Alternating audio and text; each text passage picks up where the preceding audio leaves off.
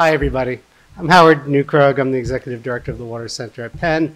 We've been around for about five years now. We're very, very, very excited about so many different things that we're doing, and, and I think this really shows the amount of work that we are starting to do with our corporate friends and, and neighbors and colleagues. And uh, uh, that's a pretty impressive list there. And so thank you. And if I just get from all the people here an applause for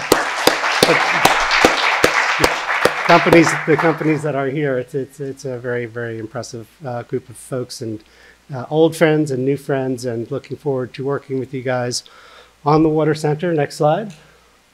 Which is, this is the Water Center. No, those are not our buildings, but it's, it's not even our water. But uh, uh, our, our philosophy is really dealing with community and equity, science, resilience, and justice. Very much, uh, we're very urban. Urban can mean very small, rural urban, but we're very urban focused, water utility focused, community focused, and justice focused. And that's, uh, that's what's really important to us in just about every project that we do. And we're doing a bunch of projects we're not going to talk to you about today, but uh, love to get you, get you all involved with that. Uh, Travis.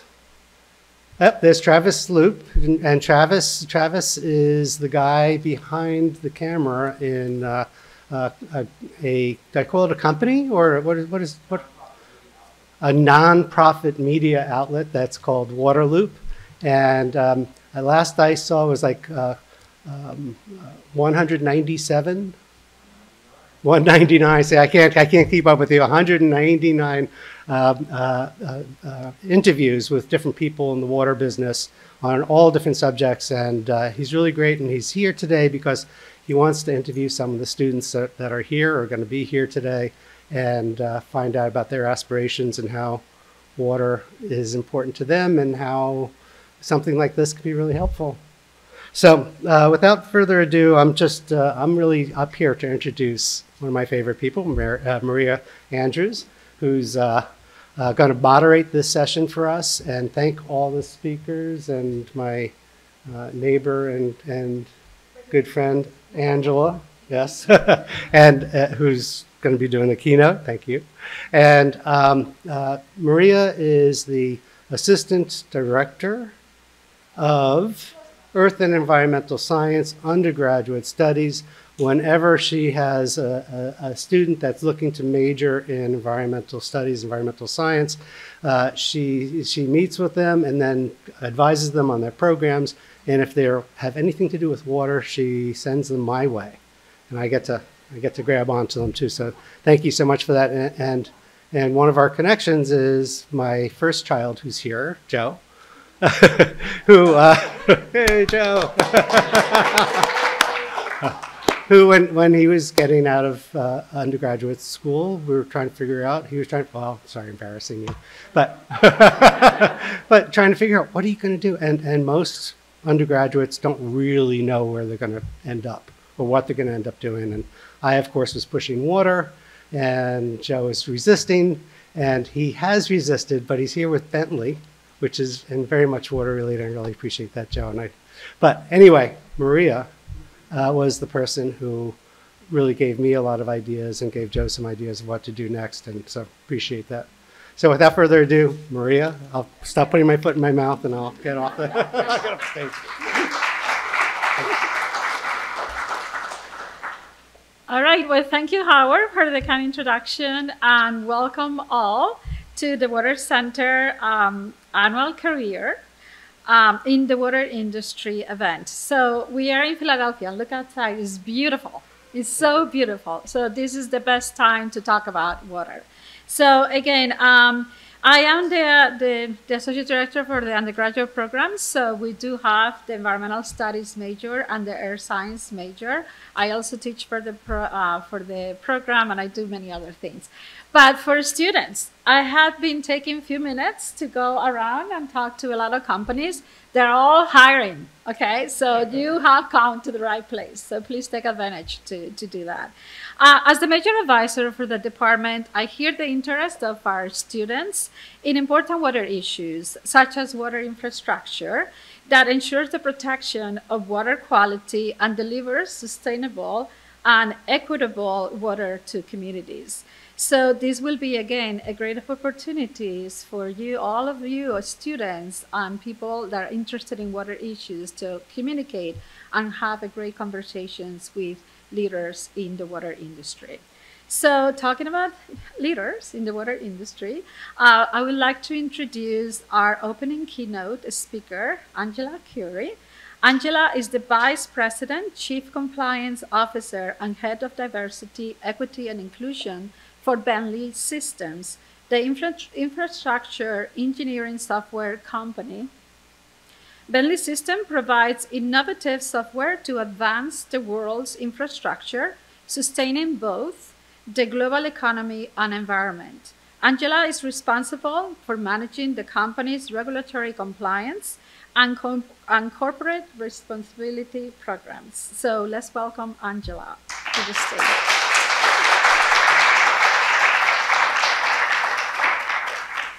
Thank you. How you doing, Penn Water Center?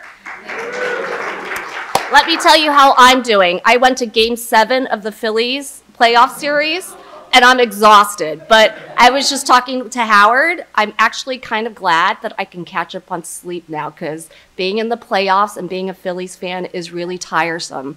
And of course, our hearts were broken, but I am so happy to be here at the Water Center today.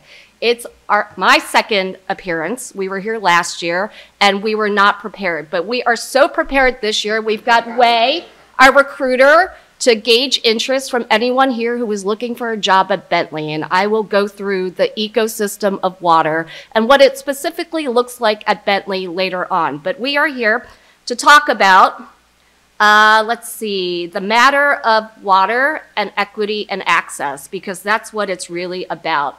We're here to pipeline talent to design, build, operate, and maintain smart and resilient water systems that provide clean and reliable water to everybody on this planet. This day serves as the catalyst to find our next world problem solvers and doers. And you know that's a really tall order, but the statistics are pretty alarming. Just in our backyard, who's been around in Philly for more than a year?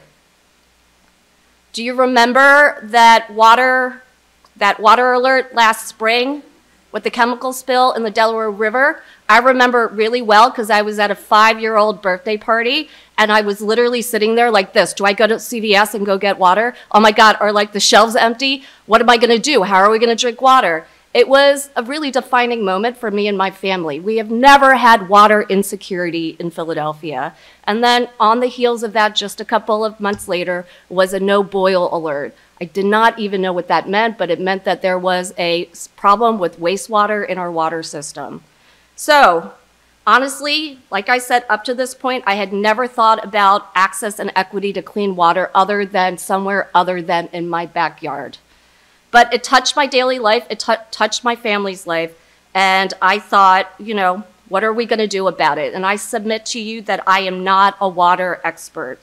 I'm here because of two informative events in my life. In 1977, I was born in a small town in South Korea to two school teachers. Exactly 30 years later, I moved three doors down from Howard Neukrug. My family and I immigrated to the US when I was three years old in 1980. My life was not unlike many Asian American immigrants. I was given three career choices doctor, lawyer, accountant. And I like the lawyer route. Lawyers seem to make a lot of money and dress smartly. So from the age of five, I knew I was going to law school. The next piece of this puzzle is cut 25 years from when I was five and I knew I was going to law school. I'm a young lawyer, and my then fiance, now husband, Jeff Curry, and I moved to Howard Neukrug's block. What happens between then and now is the product of hard work and seeking opportunities through social capital. And that's how me, a dime a dozen lawyer, I literally tell everybody, I just did law school, I went to a large law firm, I did whatever they told me to do. A dime a dozen lawyer enters and her way into the water industry. I spent the first half of my professional career doing the work. It was brutal. Being in a large law firm is brutal. I was slogging away 60 hour work weeks And I did this because I saw how hard my school teacher parents had to work in the US. They didn't speak English, their vocation was education. My mom took a shift job at the post office, and my dad was in a factory. And I said, you know what, I can get, I can get through this. But I always knew that there was something that was missing. I got competent at what I did in the law, but I didn't like it. I didn't love what I was doing. I did other things to make myself feel fulfilled. I became a serial nonprofit board joiner. I volunteered to go to events. I like sitting at tables and talking to people and collecting networks of people. I like learning about people's life experiences. Um, I didn't know that this was going to be helpful, but this is where the social capital comes in. I volunteered a lot on social committees. I am the first person to join social committees, as Way knows. She needed volunteers for Bentley's Philly office to do lunches and events. And I was like, that's me. I love throwing parties. At a certain point, though, um, I've been a lawyer for 20 years, over 20 years. I became good at my job. I said people need me, but I don't like it. I need a plan. I need an exit plan, a plan to get me to a job that I was good at, that I would like, that paid me. That brings me to Bentley Systems. I have been with Bentley for about eight years now. A friend who I knew from being on the board of the University City Arts League told me about an open attorney position. And he went to bat for me, and I ended up getting that job that maybe 50, 60 lawyers had applied for because of this one social connection and the relationship I had formed by serving alongside a nonprofit board with Jaap Venneman, if the Bentley people know Jaap. See how this is working? I worked hard, did things along the way that brought me joy, felt no joy, and then decided to get out, used my social capital from being a serial nonprofit board joiner, and then eventually landed me a lifetime job at Bentley Systems. For those of you who are not familiar with Bentley, you're in the vast majority. We're not the car company. We are the software infrastructure company. We literally innovate all of the world's infrastructure, including in the water industry. And so I thought when I got there, whoa, I just landed a job at this amazing company and I have no idea what they do. We build all of the world's infrastructure. Wow.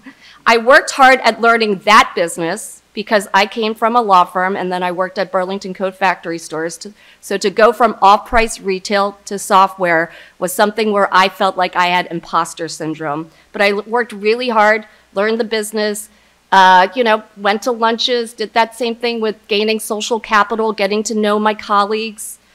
And you know what? I went to, I got to a point where being at Bentley, I was doing their privacy and data security work, same questions. I'm competent at my job now. Do I like, love my job? No. I needed a plan. And I have a steering committee of girlfriends that I have collected over the years. They literally are like my board of directors of my personal and professional life. And so I went to them and said, what do I do? And they were like, you love getting people like involved. You love parties. Think about doing something where you can make everyone in that company feel a culture of inclusion. And I thought, wait a second, you know, there's this need, this gap now. We are just like in the pandemic post George Floyd for a diversity program here. We did not have one. So I came up with a plan. I got my certification from the Yale Management School in fostering diversity in organizations, and I put up my hand and said, I would like to head this program. And that happened. That was a big stretch for me. I'm a lawyer. I don't do diversity, but I am very good at putting together parties, which a compliance program or a diversity program feels like to me. We have our first director of diversity here, Natalie Plummer, who has since taken over the lead role and has made it a world class program at Bentley where our colleagues feel like they are included, whoever they are. And for the first time, we did this transition from we are kind of colorblind to no, we're not colorblind. Everybody's got an identity. You are all different, and we want you here, and we got to figure out how to take advantage of your specific skill sets and get the best out of you. So that's what happened with diversity. Next thing happened where Bentley went public about two and a half years ago. We started an ESG program. Does anybody know what ESG means? Of course you do, because you're Ivy League students and graduates. I did not. as my boss is asking me to lead the ESG program, I'm Googling ESG and I was like, oh, environmental social governance. Wow, this is a thing and this is my thing. I love all of those things. So we started an ESG program and back to Howard Neukrug and me moving into his block. My first hire for our ESG program manager is Joe Neukrug, sitting right there, Howard's son. so proximity, social capital, relationship building, opportunities, and a plan.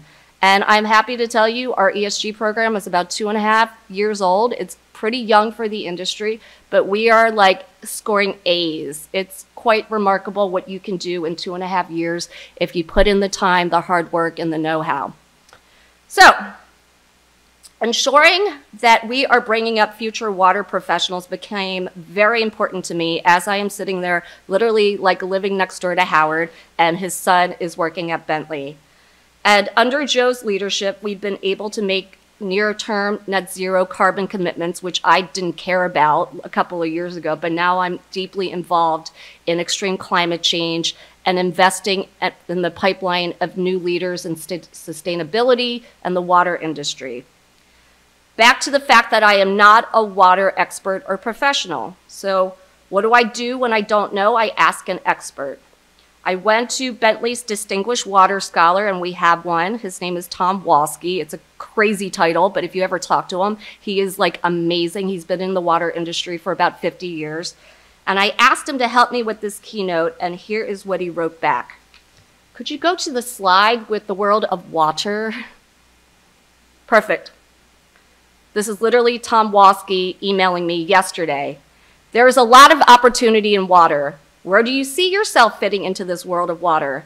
It's not all about sitting idyllically next to a mountain stream. It's about getting into sewer pipes and people yelling at you for blocking traffic when you are trying to fix a water main break.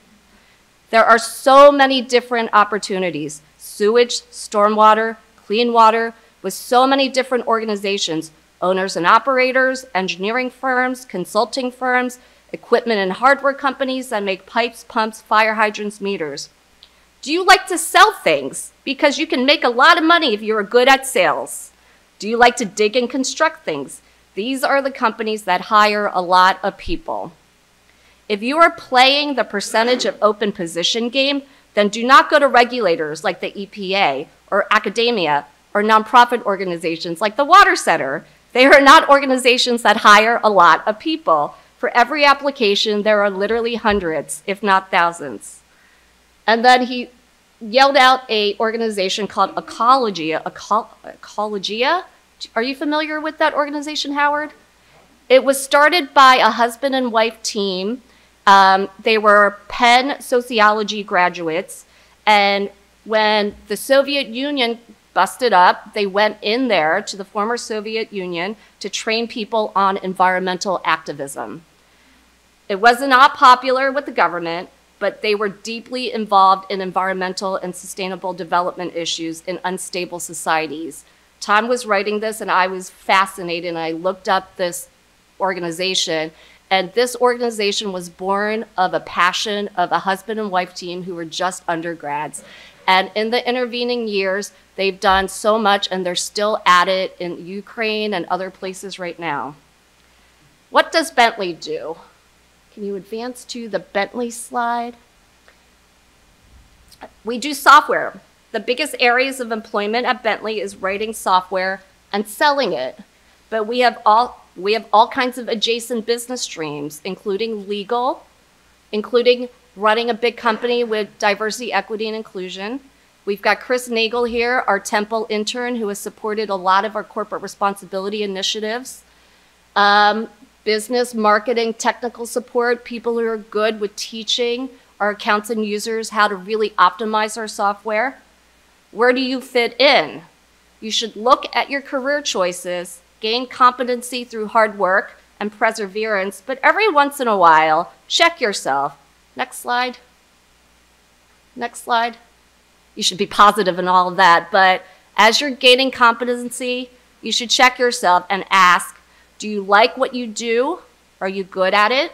Do people need you? Will someone pay you? If you can't meet those four, make a plan. A plan only takes, you know, a few months, a couple of years. Find somebody that you emulate, find the career that you want, figure out how to get there. Social capital, network, just do things that you like and you'll meet people that way. And keep doing the things that bring you joy. Eventually, it will lead you to a career or a job where you can affirmatively say, Yes, I've attained all four of these things. And for me, that's Bentley right now. It could change, but like I said, form a plan and execute it. So thank you so much for giving me the opportunity to talk to the Water Center students and people. There's Thomas that I just met again for the second year right there in the Patagonia Fleece. And it's really encouraging to see people year after year because that's all it takes, showing up and forming relationships. And you will get to the places that you want to. Thank you.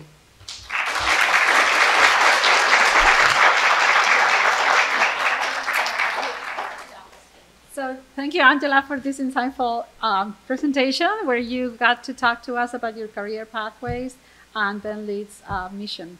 So uh, we're going to take some questions from the audience. So if you want to raise your hand, the microphone will be going to you. We have one for Howard. That word in the middle. Yeah, go ahead. Your last slide. Oh, you know what? Tom said that this concept came from Japan. Um, and I wasn't familiar with it. And he, he was so kind. He fed me the slides to, you know, his emails. Um, but I'm not exactly sure what that means. But this is some sort of, you know, some kind of like life happiness thing that came from a concept in Japan. And it makes it, you know, every once in a while, you're going through your life and you're slogging, and you just need a talisman. And I feel like things like this, if you if you say, yeah, this makes sense, and you embrace it, it'll come back to you every once in a while, um, and you'll remember, you know, to go out and do things that bring you joy, and to stop and think, do I need to make a change? Because leaving a situation is also as important as like joining one. You're exactly right, Angela. The definition is Japanese concept referring to something that gives a person a sense of purpose and reason to live. There you go. And water is an easy, easy sell. I mean, if you've ever seen water insecurity, um, Bentley has this program with Engineers Without Borders. And during the pandemic, a few um, engi- engineering students who were juniors and seniors at the University of Delaware built a bridge with a model digital twin in their dorm room for a remote village in Africa. And they sent, Bentley supplied the money and the support to send supplies to that village. And when the travel restrictions ended, these, these engineering students went to that village, helped build the bridge with the, the African village people. And what that enabled the children of the village to do was stop fetching clean water because that took days because the girls were walking and walking uh, miles to get clean water in buckets. And water is heavy. And so they weren't able to go to school. That bridge enabled them to go to school because they saved so much time.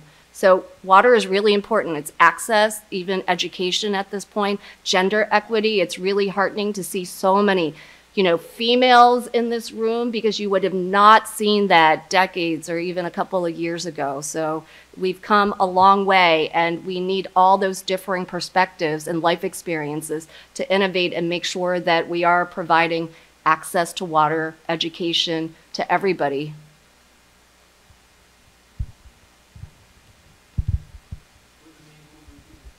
My main goal for the future, I've got three sons who are 12, 10, and 6 my goal is to make sure that they adhere to these four buckets. They have all of the opportunity in the world. My husband and I are both lawyers. We speak English. We can help them with their homework, unlike my parents who are always working. They've got all of the privilege and entitlement in the world. I need them to use it for good.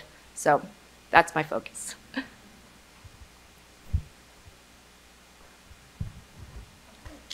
Thank you.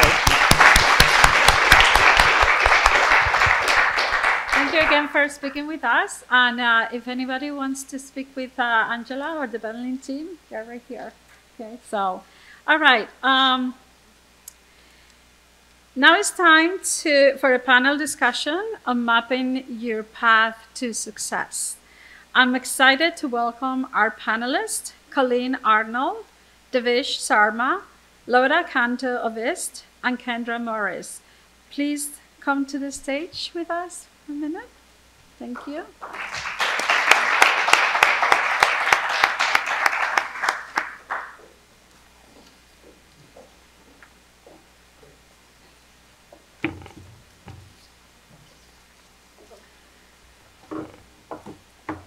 Okay, so I'm going to introduce you now, and then you'll have some time to talk with us as well, okay? So, Colleen Arnold is president of the Aqua Division of Essential Utilities. She was previously Deputy Chief Operating Officer for Aqua, a role she held since September 2015.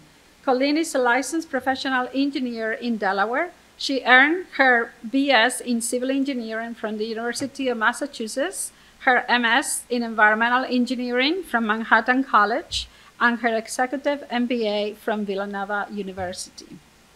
Devesh Sarma is, a, is the Chief Executive Officer for Aquatech International, a global leader in water purification technology for industrial and infrastructure markets.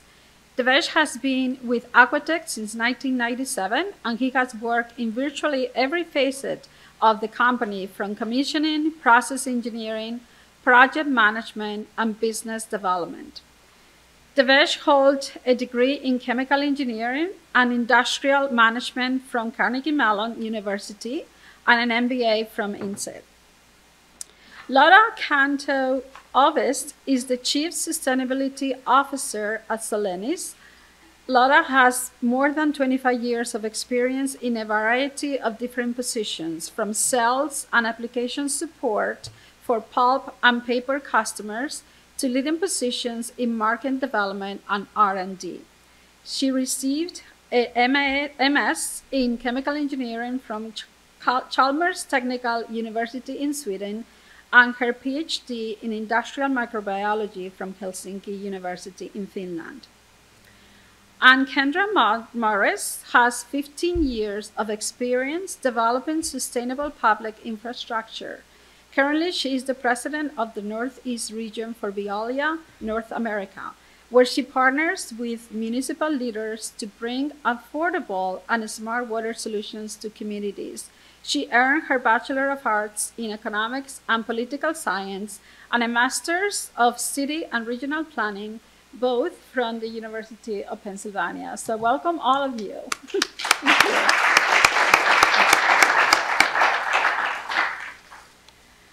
okay, um, Colleen, would you mind to begin?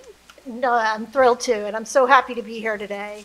Similar to Angela, before I get into a little bit about Aqua and essential utilities, if you all humor me in, in going down my uh, career path, I've worked, I've had the great fortune, and again, I'm thrilled to be in the Water Policy Center with people interested in water because I've worked in water my whole career, uh, going on 30 years now.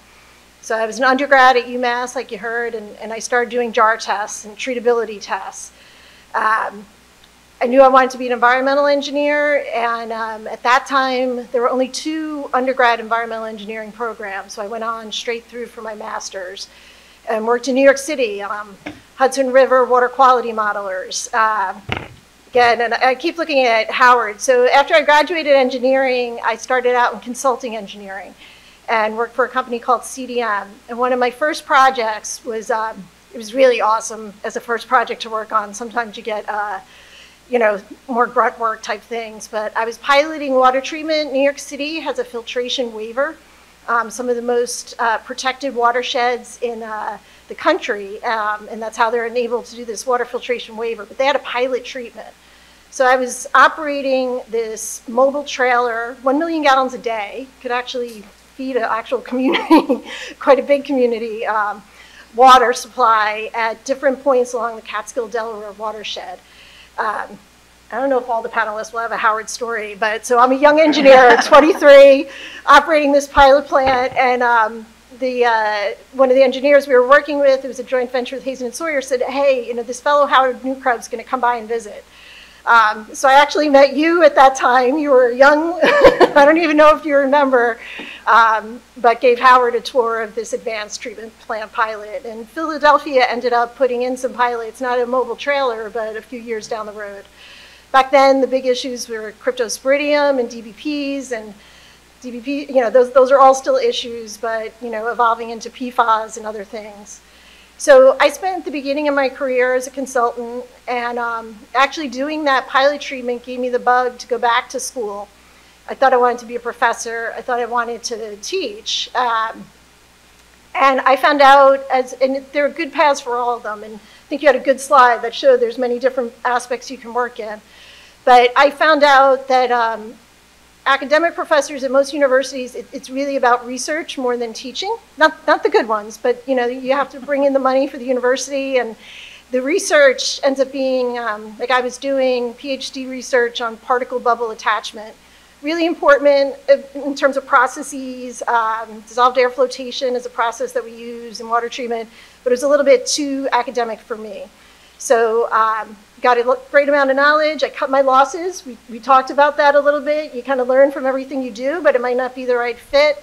Um, and I went back into consulting for a little while. I consulted for Philadelphia. And then um, as I was starting a family, um, even in consulting, I was able to work part time, but there really is no part time in my experience as a consultant. And so that's when I moved over to the utility operations side. Um, as a consultant, pluses and minuses to everything. You can delve into a project and see it from beginning to end.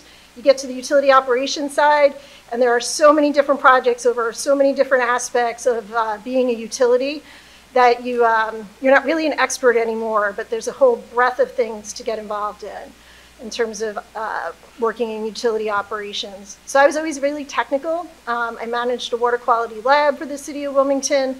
I ended up being a director of um, the, you know, both stormwater, they're a combined sewer community, the drinking water plants, wastewater plant, um, did an energy performance contract. Uh, in city government, what I found, um, there's no there's no end to what you can do.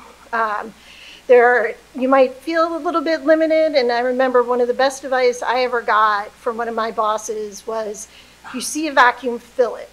I think sometimes we graduate and, and we're ready for somebody to just kind of give us the path. Um, and so, as much as um, you know, some people may have thought I took a step back from consulting to work in city government. I had you know earned less money or had, could have had more earning potential on the other path.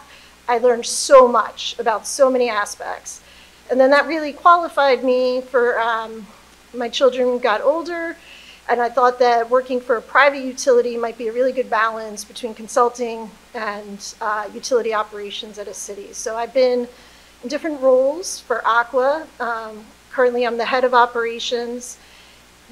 Talk to you a little bit more now about Aqua. Um, uh, just one more thing on the career thing before I get into Aqua and Essential. Um, I did get my MBA, as you heard. That was probably about five years ago. And there was probably one person who was older than I in the MBA class. And I remember one of um, the classes we were taking was about system design and um, design thinking. And there was this book from really smart PhDs coming out of Stanford about design your life. And it was kind of like if you filled out these forms in this book and talked about your networking paths, you know, here's your career. And I think a lot of what Angela spoke about, like it's all there, like find your joy, um, and you have to have a plan. But as I was sitting in that room, and again, you know, a lot of younger people than I by probably 20 years, and they're all taking notes like, all right, this is how I become a CEO. Um, and I just like to say it doesn't quite work like that. Um, and even now, as we're hiring new people, you know, young, promising professionals into our field, they're kind of coming to us and being like, all right, where's my career path? And, and we can give you pathways, we can give you different progression guidance, but um, you know, I, I, don't think it's as easy as that. And a lot of times you have to take a lateral move to maybe find your other joy or your, your way up into another role. And I certainly never set out to be, you know, president of a utility company with 1,500 employees under me and serving water to a million people. I never set out a path like, all right, this is how I get there. So I just kind of want to give you some of that context. I know maybe you're looking for certainty at this point. The best thing I can tell you is, is be open um, and, and sometimes taking a lateral move. Okay, so Aqua is the water division of essential utilities. About three years ago, right before COVID hit, um, Aqua ended up merging or, or, acquiring a gas utility, and that's when we became essential utilities. About 750,000 connections in the Pittsburgh area, People's Gas. Um, it's the first time really where we were in an urban footprint. We've, we grew up in the Philadelphia suburban area, and our, the rest of our operations are more rural or suburban. And then going to Aqua, think I mentioned this already in terms of our number of employees. You know, we have, I think one of the things that makes us unique um, in the private regulated water space, we have 1,500 water systems and 200 wastewater systems across eight states. And um, a lot of those are very small. And I think as we look at water, um, being able to provide, I know it's, it's part of what keeps me up every night. Being able to provide that same level of service to smaller rural uh, communities is a real challenge. We're really proud of our laboratory. It's right in this region. I think we have had some students from the Policy Center come over and visit. Um, it's a state-of-the-art laboratory. We were, we were doing some of the analyses when the Delaware River spill occurred. Um, and again, encourage any of you, it's in, the, it's in the region up in Bryn Mawr. We're the only certified lab in Pennsylvania right now doing PFAS. Um, and uh, would love to have some visitors and, and show you the lab, show the lab off. We'll go through these pretty quickly and can kind of keep them up there, but you know what, having worked again in different sides, consultant, city municipality utility, now an investor owned. Each has its advantages, each has its niche or, or fill in the water industry. Um, but as a, a, private, we do have access to equity and dollars that enables us to do a lot of infrastructure investment. Um, and so we're really proud of, of the capital program and getting solutions built for some of the communities out there. So these are wastewater plants. Um, we can keep going. water quality, PFAS, you know, those are some of the, you know, we're always trying to stay ahead on the issues. Um, and then I'll wrap up. Uh, as much as we are, you know, spread out across eight states, water is always local. Um, and as much as we're making these infrastructure improvements, we're not making them and walking away. Um, the only way for any of this to be successful is to be a community partner and be a long-term part of that community. And so that's, that's bread and butter with us doing the infrastructure investment. Um, I think that's about it, and I'm going to be really happy with, to hear what the other panelists have to say and, and hopefully get some good questions.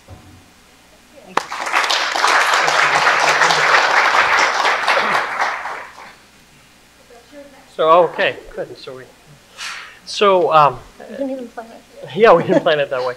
Um, my name is Devesh Sarma. I'm from Pittsburgh, Pennsylvania, born and raised, and I know Howard, but I don't have a Howard story. They'll come. You'll have one. Yes, wait till tonight. Okay. Um, so let me tell you a little bit about Aquatech. Um, as you can see on the screen, um, we're specialists in water technology, as, as our name suggests. We're a 43-year-old company, started in 1981 in Pittsburgh, Pennsylvania. And, um, you know, we focus on water scarcity. Um, actually, we're here talking about water, but there's another side of our business that we do resource recovery. And, uh, you know, what that is all about is we uh, produce lithium. You know, lithium comes from brines, and we have the technology, the same technology that you use to separate impurities from water and go zero liquid discharge is the other side of the coin is let's get the water out of there, let's get the lithium. So it's it's a big growing part of our business, but it's it's really relevant because um, you know water is something that's so essential. Um, but for years, you know, for decades, I've been in in the water industry, and people say, "Oh, you're in water. Water's so important." Um, you know, the next war is going to be fought over water, and I'm thinking to myself, I'm like, nah. oil gets all the love. Okay, because water, and you know, it's something we've been talking about with the water centers. We have to do more work about the value of water around the world because you know. But but my point is is now, you know, three decades into my career, water is taking a front and center role. You know, uh, I think Angela talked about ESG. Um, we're a company that works for companies. We, we're a business to business uh, uh, endeavor. Um, we help some of the world's most recognized companies solve their water challenges, and every boardroom is worried about their image, their operations, their viability because of dwindling water resources. And, and really, we provide the technologies to help them uh, address those challenges. If I could have the next slide. So, as I said, 43 year old company. We've done over 2,000 plants around the world uh, on six continents, um, about 700 uh, engineers, probably more than about more 1,000 people. Um, and um, over our systems around the world treat over 1.6 billion gallons of water a day. Um, headquarters in Pittsburgh, and um, really proud to say I was I was actually in an employee uh, orientation yesterday, and uh, we had uh, um, you know probably in the last six months maybe about 40 new employees, and I said you know it's a very interesting time you know as as Maria said we're all hiring it's it's a good time for for for the industry. And I said, uh, you guys have a really unique situation because you have a 33% chance that you're going to meet someone that's just like you that's been here for less than 18 months and you have a 66% chance that you meet someone that's been in this company over 20 years. There's no in between. Uh, and and that, that's a really interesting dynamic with our company. Uh, there's a joke that if you just manage five years, you're, you're there for life. Um, and I think that's a good thing. Um, so we, we're really proud of our, our um, you know, ability to, to retain uh, uh, a team. And, you know, once you get into 15 or 20 years, it becomes a family. So you know, that's, that's really the culture at Aquatech. Um, next slide, please. So what do we do? Um, if I could put 90% of what we do in four buckets, we help our clients solve water scarcity. We reuse water. We take water from, from unconventional sources, desalinating seawater, uh, water reuse. When you reuse water, you keep concentrating it up, you create a brine. We have the technology to take it to zero liquid discharge so there's no uh, uh, liquid pollution. Um, I talked about the lithium and the critical minerals, uh, just industrial water management. Um, you know, one of our most recent projects is, uh, you know, they're building a new steel plant in Sweden uh, where they're going to make green steel from hydrogen, you know, and we're, you know, any, any industrial process takes a lot of water, whether it's microchips, automotive, um, power, oil and gas, everybody uses water, so we help manage the water in, uh, recycle the water out, manage the water footprint of, of our clients. And of course, desalinating seawater. As water scarcity in the world grows, the sea is an increasingly used source. It's uh, uh, the most difficult. It's you know highly saline water, takes a lot of energy, but yet it's it's a it's a very important piece of the puzzle in, in water security. How do we do it? Um, so I told you about all these technologies, all these things to do. Well, what is it that we really do? Well, sometimes we build the plant. You know, we, we, we provide the process technology, we build the plant that purifies the water. A lot of times that goes with operating it. Um, we have a subsidiary because we're a very technology focused company. Sometimes we just sell pieces of technology, membranes, instruments that help purify water, help measure water. Uh, and also, sometimes you put it all together and you sell the water. You can finance, build, own, operate the plant, and, and go to an industry and say, industry, you focus on making your steel. We're going to be outside the fence here. We're going to supply you the water you need at the specification you need it, and we're going to take your waste and we're going to process it, and you pay a monthly fee. So this really encapsulates uh, uh, what we do as a company. So um, some of our clients, we have a, a, blue chip list of clients, really the who's who across industry in our in our 43 years. Um, and um, that's that's really all I wanted to say about the company. Now um, to to follow Colleen, I'm going to talk a little bit about my journey. I've been with the same company my whole career, uh, and I've had the fortunate ability to have really worked in every facet of the business. Um, you know, even even in my, my first summer, I I was very very fortunate, and I would I would provide this advice to anyone. Uh, in this industry, there is nothing better than field experience because you see it. You know, you sit down and you can look at engineering documents and you can say, oh, that's a valve, and you can have all this bookish, bookish knowledge that, that you know, the, the velocity of water is this much and this much filtration is going to happen, but you really don't live it until you do those jar tests. and, and, and, and you understand how water reacts and you, you see the plant and you start up the plant. So, so you know, I had the fortunate ability to, to do that early in my career. Um, and, and you don't just learn engineering, you, you know, so much about what you um, learn in school really kind of gets you your first job and then you you know you can take all of that and and put it on a shelf somewhere and then it's you. Then it's it's what what you learn. It's how you interact with people. It's it's it's how you um, um, you know comport yourself and and and and communication skills are very important so you know i got to move on came back to the office and started designing those plants.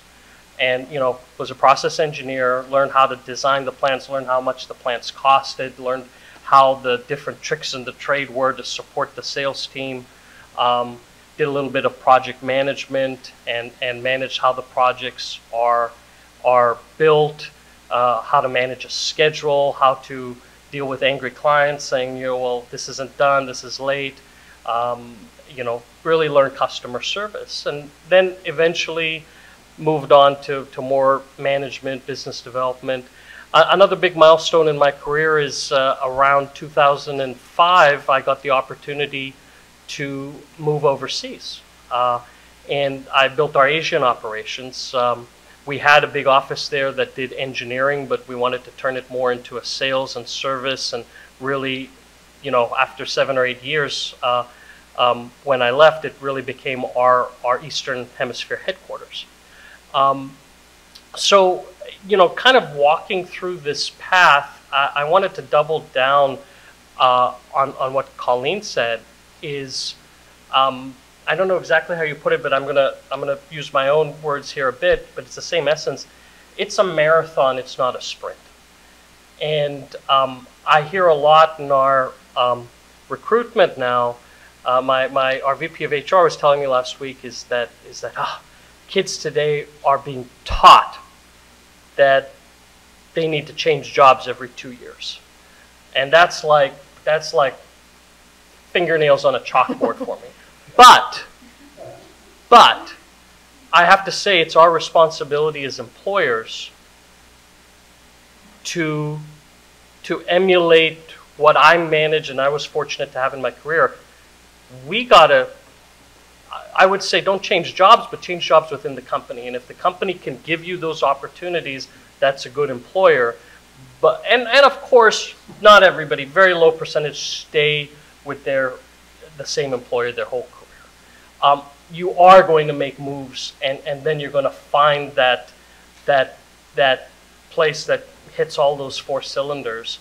Um, but but I can't stress enough that that the goal isn't uh, um, you know, the salary is important, the money is important, the soft issues are important, but if you don't have the fundamental knowledge, you're not going to be able to offer anything to your employer long term because you won't. You'll be a mile wide and an inch deep, and and that's that's one thing is that is that you got to spend your time in your 20s building depth, and and and that's that's really just just one of the things I I'm sure we're going to talk more with with, with questions. But uh, with that, I'd like to hand it over.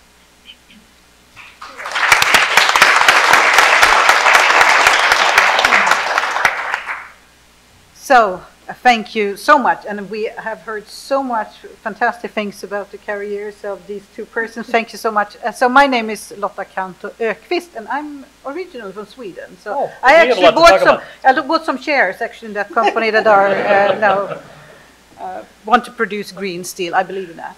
very much. Now I feel very safe that you're involved as well. Excellent. Uh, so one of the things we talk about, I'm working for Solenis, and we talked about the amount of years you stay in a company, for example, 25 plus years in the industry.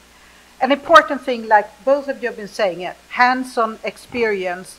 Don't do something, uh, you know, and believe that you can have a career path just going direct. There is a ladder that is straight to the top and without having the technical background. I also started in the beginning of my career really doing what you could say the pinks and blue, being in sales, being at customer sites.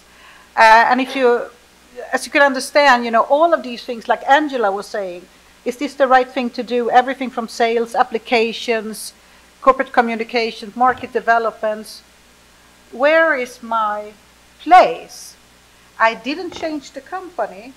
I took on challenges all the time from really the technical to understand and use my education to build on my experience that I have in a lot of different areas and the different industry. We talked, uh, you heard about the pulp and paper industry. It's an industry using huge amount of water, okay? But also R&D for industrial segment, you know, cooling water, wastewater treatment, all of the things that I'm responsible for today. To understand this, what we were taught in school, and use it in reality, not only on a paper.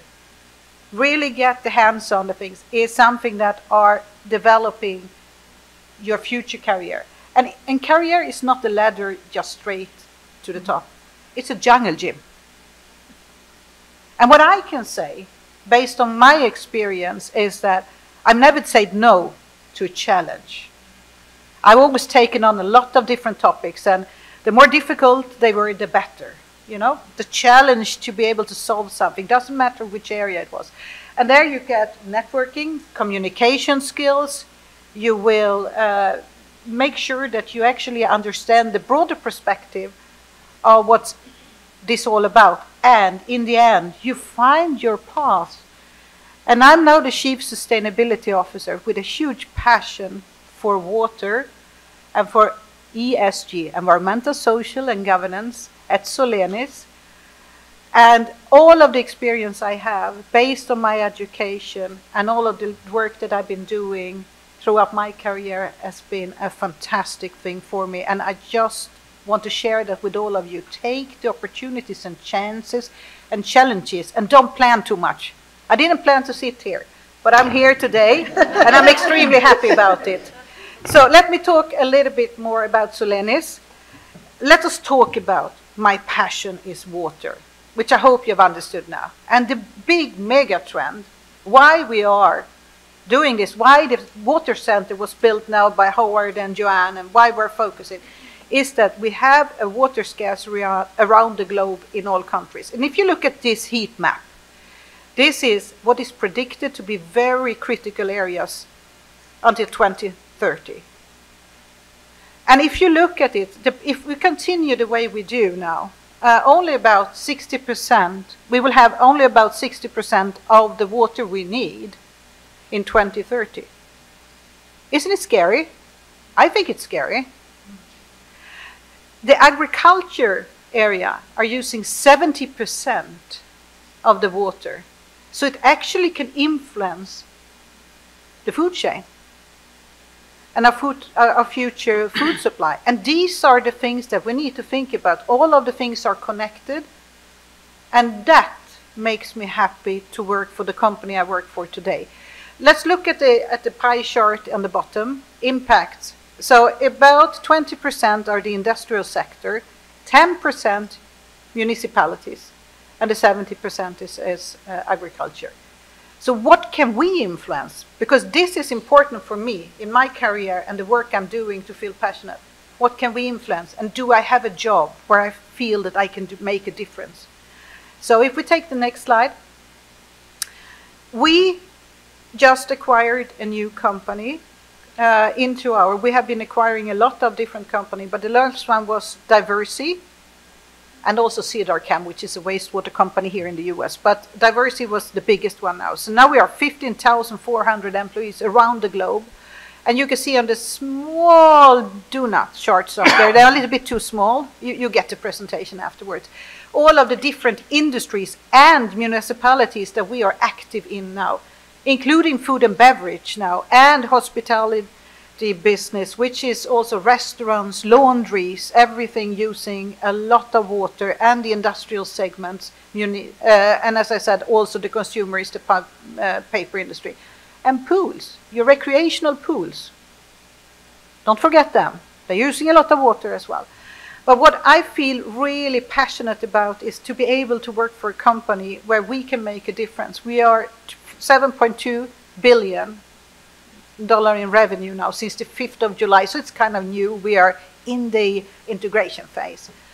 But we are all over the world. We're one global team, 71 manufacturing sites, and we can reach everywhere where water treatment and water are used to make sure that we make a better world. And we like to partner with companies that have uh, a lot of programming and engineering skills as well. But we are a special ma uh, chemical manufacturing company, so we have the products needed for all of the different equip equipments to separate anything out of the system or clean or, or make sure that we can maintain the business. So next slide, please. So we have different solutions. Like I said, wastewater uh, management and reduce from a product point of view, monitoring, cleanliness. Uh, we, you know, all of the plastic reduction. We want to have fiber-based material waste. These are something we are focusing on as well. Circular economy, making sure that we are not destroying and get more microplastics or nanoplastics into the environment. So fiber solutions infection prevention, one of the things is very important is uh, we know that from COVID, but also on water. Water needs to be safe for people to drink all around the world. And of course, the food and beverage safety now. We know it's important. They are huge user of water, and we know um, have the possibility to actually do something about it as well, both on process and recycling of water and reuse. Next. So we deliver solutions for all of the different megatrends. So climate change, CO2 emissions, water scarcity, like we, we just talked about it, it's one big thing. One of the things that's very important as well, when you're cycling up a cooling tower, for example, you can get corrosion or you, you have to think about acid protection as well you're concentrating um, a lot of salts and things, you know, into systems, and we can treat for that. The regulatory compliance, of course, it needs to be safe for personnel working in a factory as well as everybody else. But the digital solution here, performance-based control calculation, extremely important uh, for the future. And combining it with treatment is equipment and engineering solutions with products and with programming and everything together and we need to work together for the future to make uh, all these uh, programs work. Uh, next slide, please. So we work from river to river, and here you can see all of the different treatment uh, possibilities that we do have. We have all of the products, monitoring and control, and digital solutions, and all. Of, uh, we have a strong focus, of course, on sustainable solution, carbon footprint of products, etc. And we are delivering uh, value to the customers by all of the major sustainability parameters that they have that they need to meet with their sustainability targets and goals. ESG. So next one, please. So we have talked very much about uh, the different things, ESG. So environmental, social, and governance, very important for us. The social engagement around customers as well as plants extremely important in uh, conjunction with also the environmental work that we do. But we can't do that alone. And actually, if we want to change something in the world, it's to doing it together with the customers, which are the industries that are using a lot of water, or also partnerships with, can be universities, the water center, can be also uh, a lot of different companies. We have to do this together to make sure that we make a difference in the world. So it's in water, so we call it ESG plus C. I just want to show you uh, a couple of awards that we have, or one specific one is Corporate uh, Social Responsibility EcoVadis, uh, where we are top 1% percentile. Uh, we, for the second uh, year in a row, we had that, and we had gold rating before that. So sustainability, ESG, is very high on the priority, and that's why I feel passionate just working for Solenis as well, and feel that I can, with the help of what we're doing, contribute to a better world. Just this is actually the last slide I'm having, or the second last slide. I just wanted to show you. It's not only about chemistry. Today I have with me Mike Bloomley from the Wilmington Research Center. Solenis has the headquarter in Wilmington, Delaware. Just neighbors to here, huh? So Mike Bloomley is working at the research center where we are investing in a new research center for 40 million as well. Then we have uh, Brian Panicella and Sam Hager um, Brian is uh, they're working in the merger and acquisition team because that is also one of the things that's very important. What do we do to make sure that we are even better and more suited for the future in what we're doing? And Brian, he used to be a student here. And Sam, he started actually as an intern and he just got hired. So as you know, we are looking for interns as well. But look at this one. There is so much different positions that are important for what we do. So it's not just a chemistry background or a water background or an equipment background. There's space for everybody to be a contributor in what we are doing. And we are always hiring, by the way. Next slide, please. So job opportunities, I just want you to think about go into solenis.com. You find our sustainability report, a lot of information there about us as well, and go in under careers and North America. You will find all of the job uh, positions that we have, and you can apply online. And at the moment, we have several internships out there, but also other positions. And as I said, you know, what, what is it, 45 minutes from here? Um, Wilmington. It's not Pennsylvania. It's Wilmington in, uh, in Delaware, but it's okay. huh? so go and join us and go to and come and talk to us, and we will tell you more about what we're doing. So thank you very much for your attention.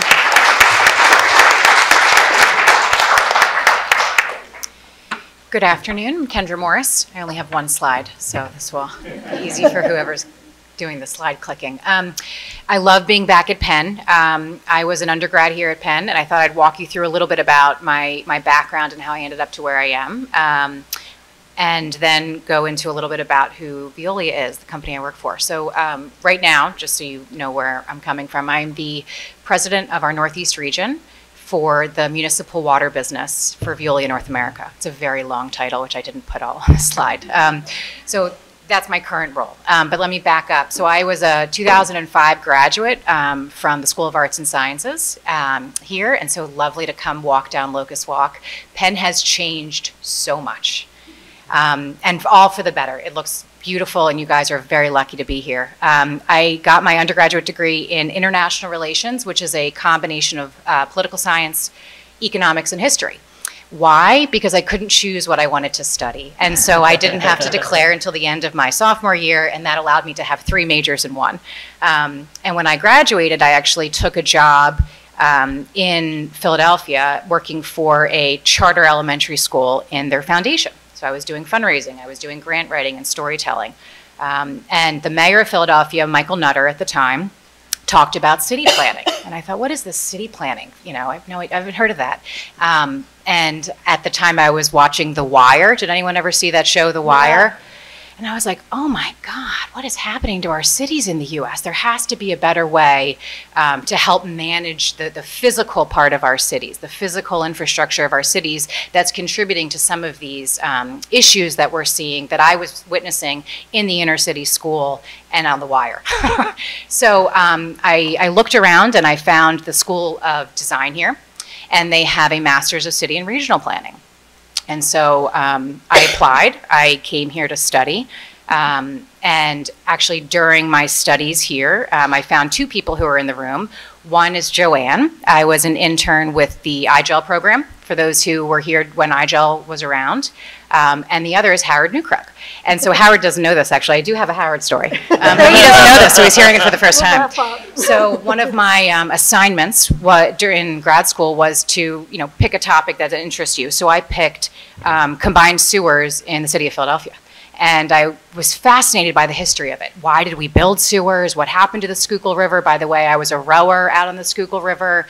People got ringworm. My sister, who's sitting over there, I think, was a rower too. She came home with ringworm one time from the water in the Schuylkill. You did.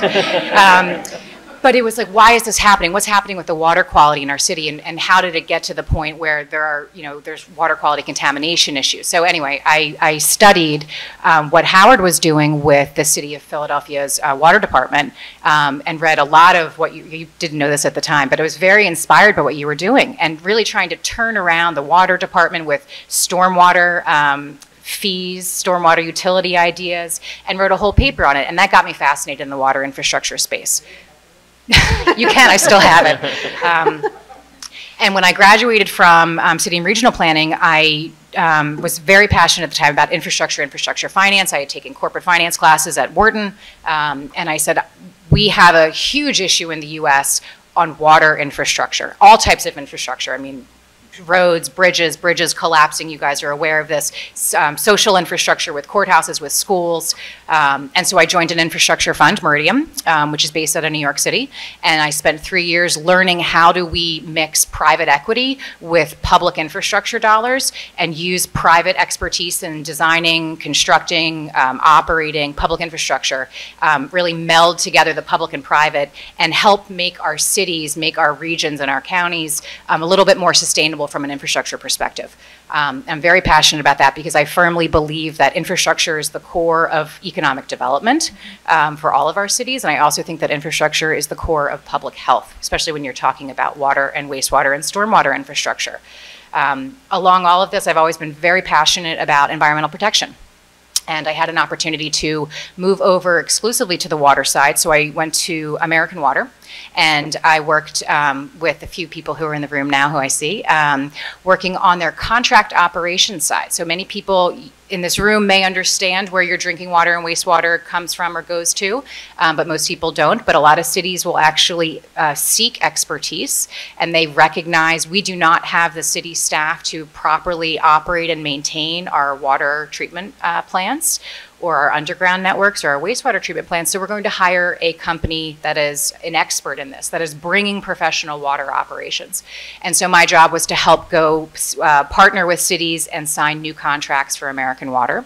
Um, you guys probably know American Water best because of its uh, regulated utility or investor-owned utility where they're actually owning and operating the assets.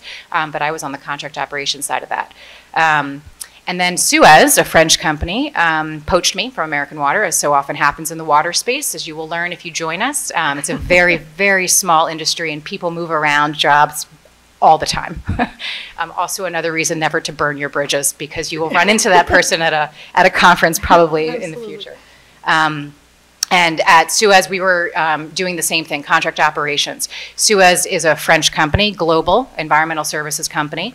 Um, and Veolia, you'll see, um, acquired Suez uh, a year and a half ago. And so now I'm at, at Veolia, but we essentially do the same thing.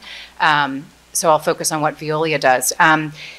Veolia is a environmental services company that focuses on not just water, meaning um, municipal water, drinking water, wastewater, stormwater, but also industrial water. You've heard a lot of the fellow panelists talk about the amount of water that is used to produce products or to create food and beverage.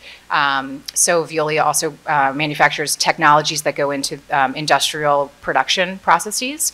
Um, they also focus quite a lot on waste. So in Europe, they do a lot of solid waste. They do recycling. In the U.S., here we do hazardous waste. Um, they also focus on energy. Um, energy efficiency, renewable energy, and so it's this um, you know little triangle of um, environmental services that are, are, critical to all of our daily lives, um, but things that we don't often think about. Um, and water is really at the core, I think, of, of everything that has to do with the environment. Um, and the purpose of Veolia is to be the champion of ecological transformation. We have a little purpose wheel that has the UN Sustainable Development Goal colors around it, um, which I love. Um, and it's very interesting to have a French company declare that they're the, the champion of ecological transformation and come to the United States, where we have a lot of cities that are like, you, you what, you're the champion of what? what is what is that word? Um, and and it's I've been in this space for a long time talking to cities about their goals with water. And I will say that in the last five years, there has been a shift in a lot of uh, medium sized to larger cities where they are recognizing that this ecological transformation, which I'll put in quotes, is what their residents want to hear. So the smaller cities, maybe not so much, but the, the medium and bigger cities are, are getting on board with we need to decarbonize. We need to reduce our energy footprint. Who can help us do that? We need to reduce our water usage. Perhaps we're not dealing with water scarcity issues in the Northeast as much, um, but we're certainly dealing with water quality issues. And how do we uh, work together and partner and who in the industry can help us that we can trust to make sure that our water is um, meeting environmental regulations, right? That I can speak in front of my uh, constituents at a uh, council meeting and be confident that the water that they're giving to their baby or that um, they're giving to their children is safe.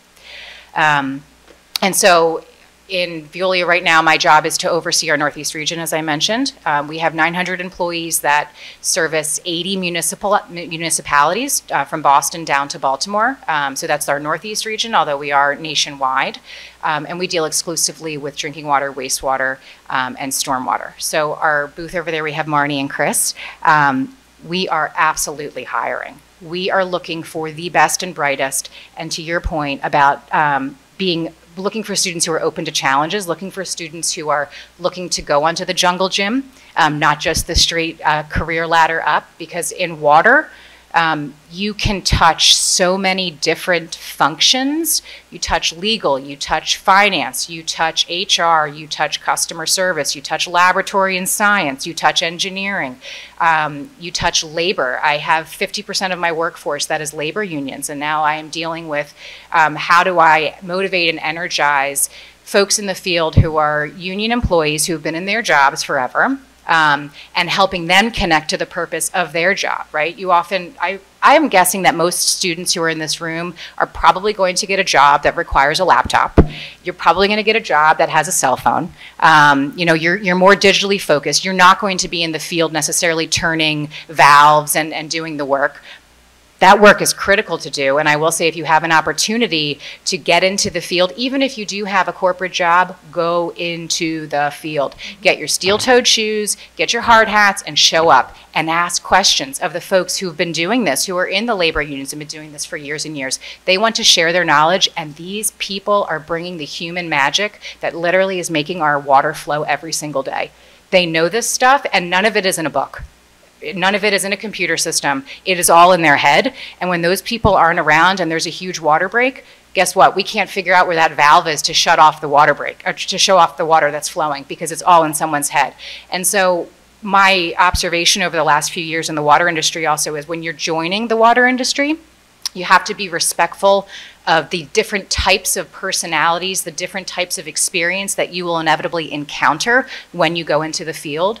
And so when someone has been working for 30 years in the field and doesn't um, necessarily speak the same way that you do coming out of an Ivy League university, um, there's a level of respect on both sides that's critical. And so I would just caution you and, and um, guide you in when you enter any field, whether it be water, energy, waste, whatever it is, always respect the person on the other side for the experience that they bring, which will be that very different, but will teach you a lot.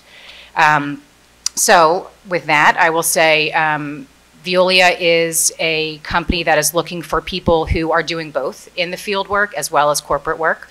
Um, and if you have a chance to go talk to Marnie and Chris, we have a lot of job openings. Um, for those looking for internships, um, we do have a summer internship program, which I believe we, we piloted for the first time this past summer um, through our Paris office, and we'll be doing it again next summer. It is a certificate program, and it requires, I think, quite a bit of commitment, um, but we're happy to talk to you more about that as well. Um, and I'm happy to answer any questions once we get to the Q&A period. Thanks for the opportunity to be here, and I'm so happy to have listened to my fellow panelists share their journeys. It's very inspiring to hear.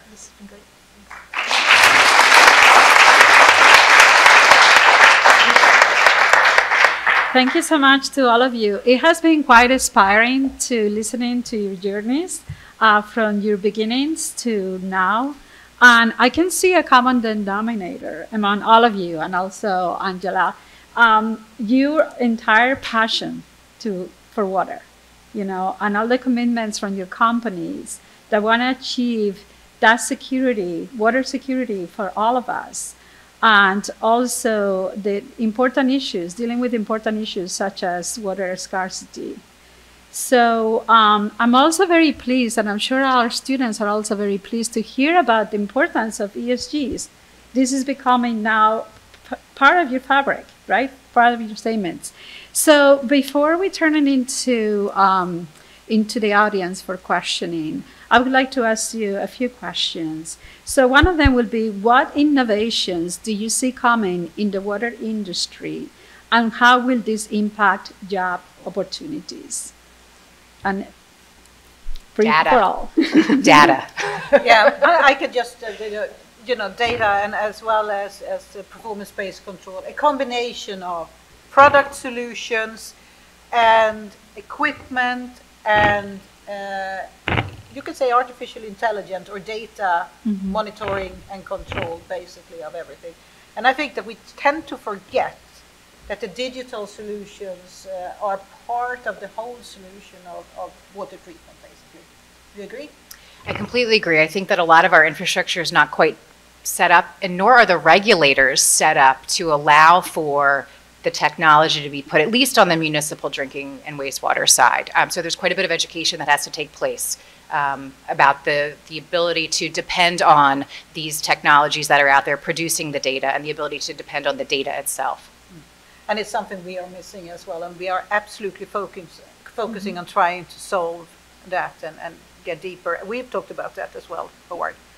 Yeah, I mentioned small systems, and you know, it, it's data, but it's it's having that technology. And um, large systems have continuous monitoring. Um, they're pretty sophisticated, but um, and, and in terms of regulators, we'll have regulators still that I want an operator there seven days a week, even if they're 20 minutes. Um, and they'll prioritize that over getting in 24 hours a day, monitoring that's smart, that can give us alarms and help us be more um, proactive. So I, I agree. Um, And then just, yeah, getting, making the data information so we can make decisions quicker.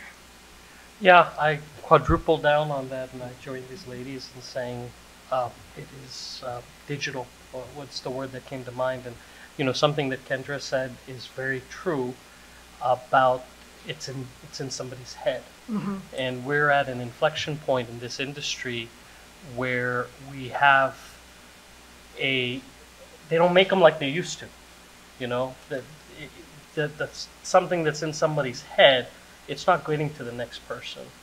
Uh, so, so there's an aging, there's aging infrastructure, there's an aging workforce that has a lot of the knowledge, and and that's not being passed on. But with the tools we have, with the AI, the machine learning, and the digital, um, one day you're going to have that municipal water plant, and you're going to have the Chat GPT version to say, you know, how do I change this valve, or how do I shut this off?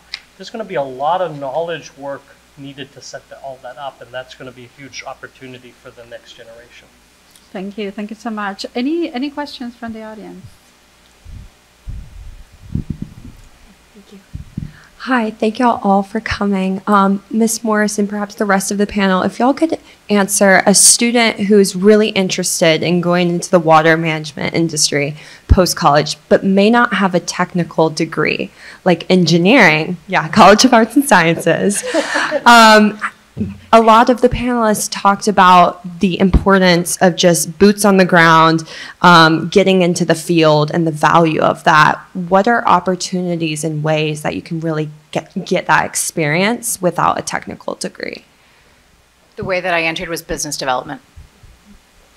I I would also say, you know, uh, internship, MBA, uh, starting to work, marketing can be everything.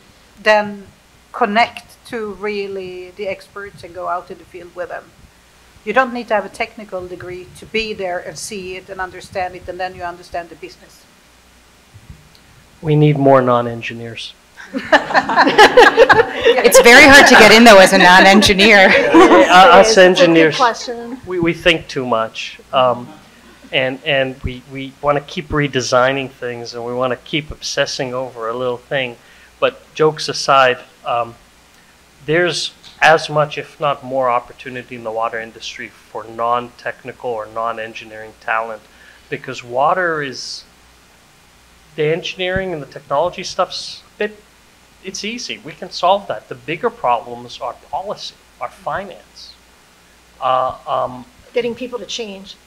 getting you know so, uh, uh, managing people and, you know you know I, I could go on and on about engineers but engineers need to to learn how to lead a little better you know uh, uh, so there's tremendous opportunity Yeah, I think um, you all hit on it. And I think it's it's easier. I mean, I had a technical path, so that's the one I'm most familiar with. But it certainly works. Some of our operations managers um, did not come up through a technical path. Um, business development was one side. Customer operations um, is a really good way to because you'll hear from the customers what issues they're having, and then it forces you to kind of understand. All right, what's the root cause of this, and what's going on here, and then. Um, like Kendra said, it doesn't matter what role you have, and I, I, do this with our corporate leadership team. We got them all going out visiting over 800 of our field offices and locations. This, um, like, talk to the people that are doing the work. At least for us, you know, we're a water utility first,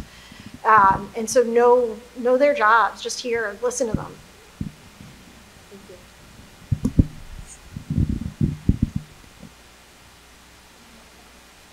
I I do I would like to ask another question. How, how important is um, have mentors been for you in your careers, from academia or from work? Any advice on that of how to develop those really important working relationships with your mentors? For me, they've been really important. I know one of my first, again, consulting jobs, there was a formal mentor pro mentorship program. That wasn't really very helpful. Um, and then sometimes you have mentors and you don't realize they're a mentor till you're a little further along. But um, I specifically did have a, woman who was an officer, which at that time there were maybe two in consulting. um, there really was a glass ceiling. We were talking about even hearing some students here today. Like I was, I graduated a class in 95 from UMass and there were three women.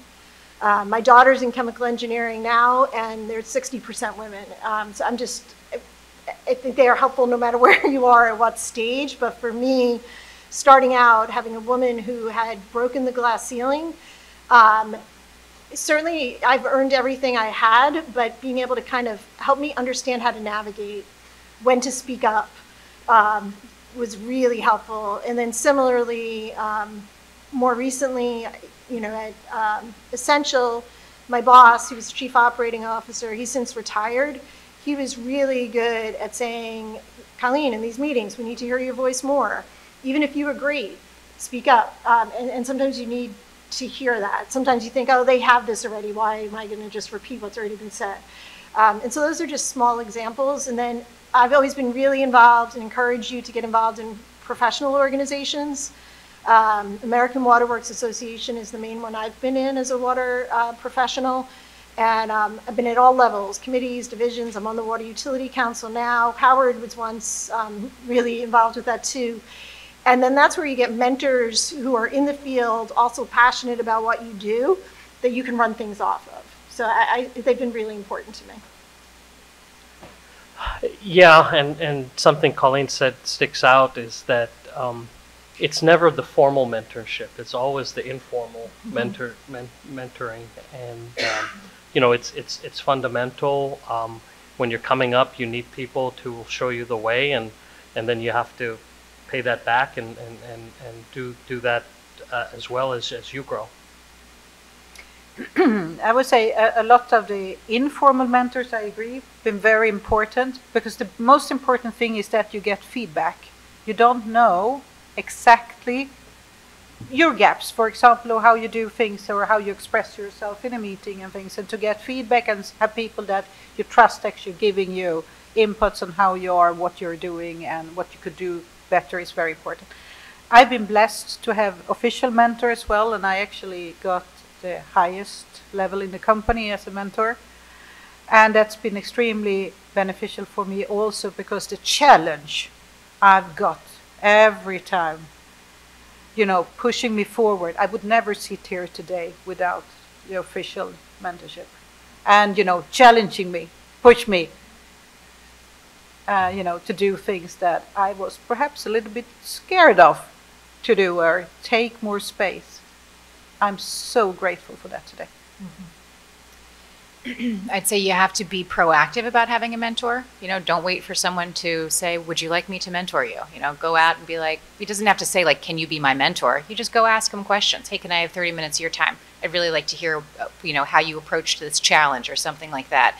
And do that often enough, not too often. You don't want to be annoying, but like, you know, do it often enough that um, it becomes a relationship that you've built, and then that person can help give you the feedback um, that's helpful. And, and I think it's also important to be able to receive feedback.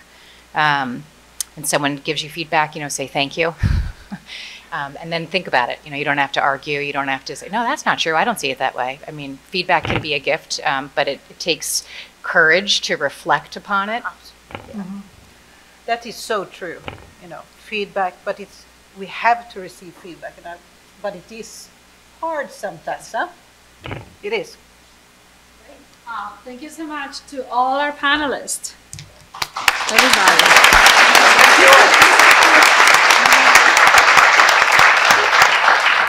Okay. Um, I would like to introduce our next speaker, Courtney Obregon. Yeah, we'll give you some few minutes to. Thank you so much. So again, I would like to introduce Courtney Obregon, uh, who will be leading a discussion about water tech, the startup community, and getting that first job. Um, but first, before I introduce uh, Courtney, I would like you to ask everybody to take a few minutes, just a minute, to scan the QR that is right there on the slide and take the color of water quiz. So discover your water persona, persona and learn about the role that water plays in your life by taking this less than two minute quiz. So I'm just going to give you two minutes. You're on a, on clock. And there may be prizes, so go ahead. All right, so thank you so much. I was blue, you know, so I'm good with that. Okay, so um, uh, again, um, let's talk about Courtney. All right, Courtney Fred Obregon serves as Vice President, North America Building and Infrastructure at Wavin Group, where she holds a profits and loss responsibility for Wavin Building and Infrastructure North America. Courtney leads the design and implementation of the significant growth roadmap for Orbia Wavin in North America. Courtney holds a BA from the University of Pennsylvania and MBA from Harvard. And let's welcome Courtney.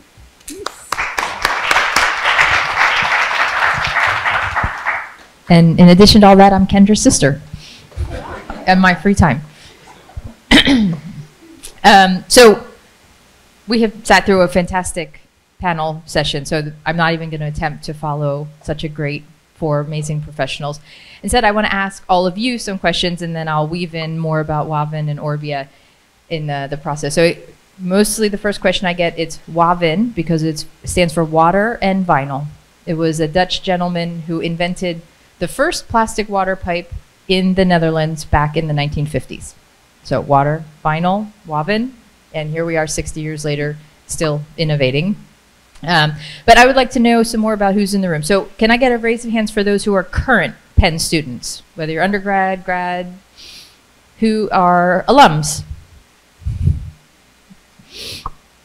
who are interested by parties that thought this was going to be a really cool event. Great.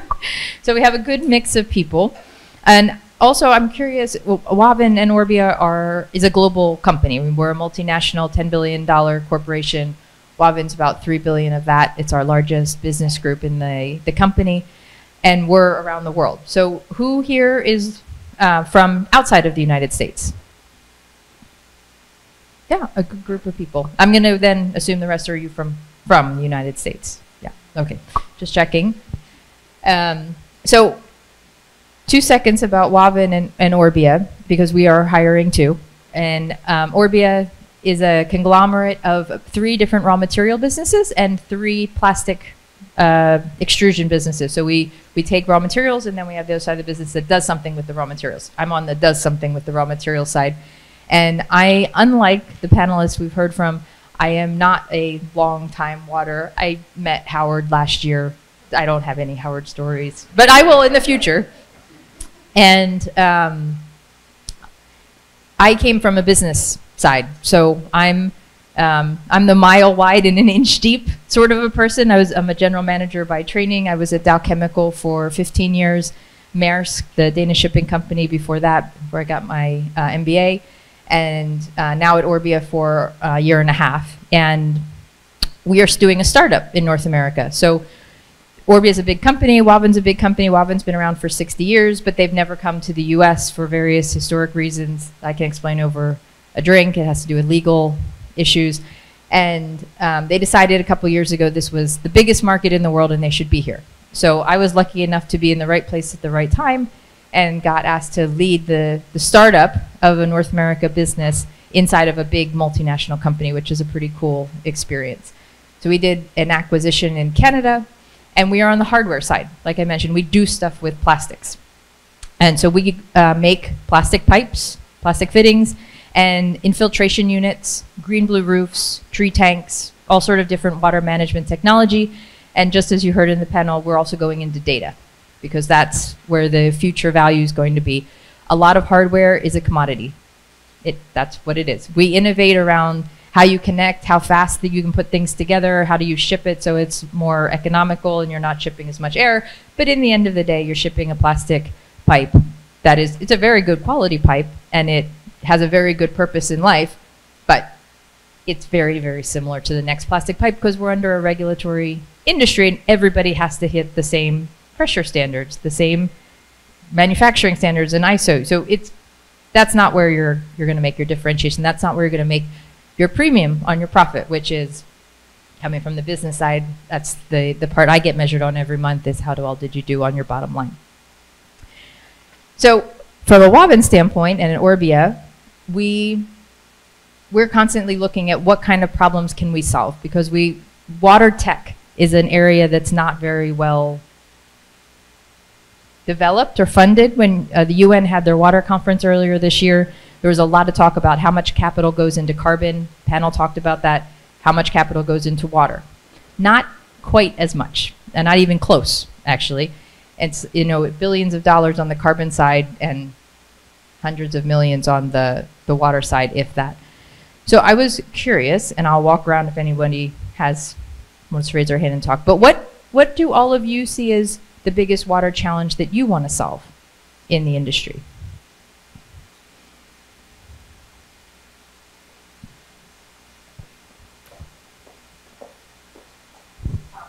Hi, I'm Thomas.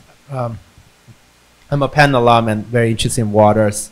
So, Courtney, too, my my thought is that it's a communication uh, challenge because, as you mentioned, so much money and attention has gone into carbon but in the broader public, and I feel the broader public is starting to understand climate change, biodiversity loss, but people take water for granted too much, and they're not investing enough into water, and there's a lot of investor dollars that should be put into water. Agreed. Water, you can't live without water, but yet it's not valued. And if you can't value something, it's really hard to get a return on it which is one of the biggest problems, I think. that the finance, the UN Water Conference talked a lot about the financing aspect of water because you can't value it, you can't get funding, and it becomes a subsidy or something else. So we have to find ways to value water in different ways. Anybody else? Biggest concerns you have for water? Wh why you're going into the field? What made you want to study it to solve a problem? I met some great grad students. Hello. Hi, good to meet you in person. Um, I would say I've heard at these sort of big events like UN, etc., that the way we're going to experience and feel the worst of climate change is through water, droughts, flooding, etc. So I think the intersection between sort of trying to make our cities, communities um, more resilient to cope with this, I think is very interesting, and maybe some investment is going to start shifting into their new climate tech type opportunities. Thank you, Karen. Karen is a, a fantastic water expert and has a consulting business if anybody's looking for some help on research, market, technology, go talk to Karen. Um, I definitely agree. Climate resiliency, I have a Google alert on all sorts of different stormwater management, climate resilience, and it's it's like 30 or 40 every time I get my weekly review. So much so many townships and cities are trying to address the flooding in their areas and I personally when you're trying to sell products that solve some of these challenges and you have to go municipality and township by township across the entire United States, we, we don't have enough money to hire that many salespeople. Uh, we, it just is not profitable. So you end up, and then you have the federal government on one side that has money available to replace lead pipes, to help do funding, to do um, studies on watersheds. I lived in Houston for a decade, and let me tell you, if it rained a little bit, you had to be careful not to drive under some bridges because you might not come out the other side. So you you and you just so the cities are really focused on this and they need to solve the problems. So climate resiliency absolutely I think is a a huge topic that people are now paying attention to and money is coming behind. It's a good place to be. Oh, yeah, you can use her. This is Griffin. Yeah, I'm Griffin. Um, just to add on to that, I think climate resiliency, but also working with nature to create more sustainable cities. Right now, I'm working on a project researching the Atchafalaya River and the old control um, station and how the U.S. Army Corps of Engineers, since like the 1920s, have basically been waging war against the Mississippi River. And as we know, like it's a losing battle against nature. So how do we design systems that actually embrace the change that our world is going to come to through, and um, you know, create more sustainable systems out of it? Yes, agree. And the biodiversity topic is also extremely relevant in conversations about stormwater management. And and a shout out to um, Bentley works with Lankenau uh, High School, which is a STEM scientific I'm going to get the name wrong. Brenton, help me out here. It's an science, environment, but focus on environmental science. Yeah, that's it. And so they're looking at some of those things. That was the point of that. So if you're interested, check out the Lankenau uh, High School project there too, which Joe is also involved with. There we go. Have a Howard story. Anybody else want to share?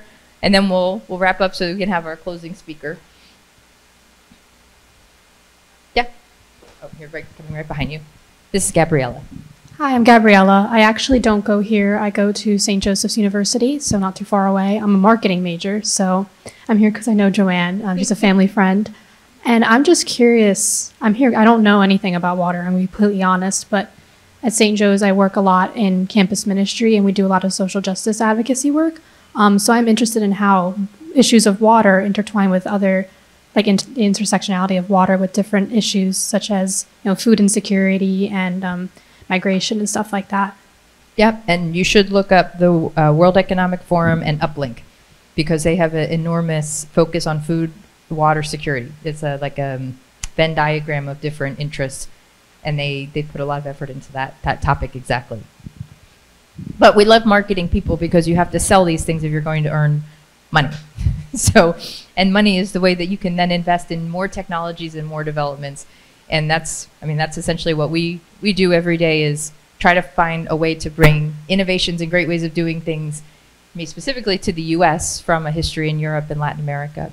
But I will thank you all very much for your participation in this part of the event. It's great to meet all of you and best of luck. Come by and see all of us at the tables and at the, the networking afterward.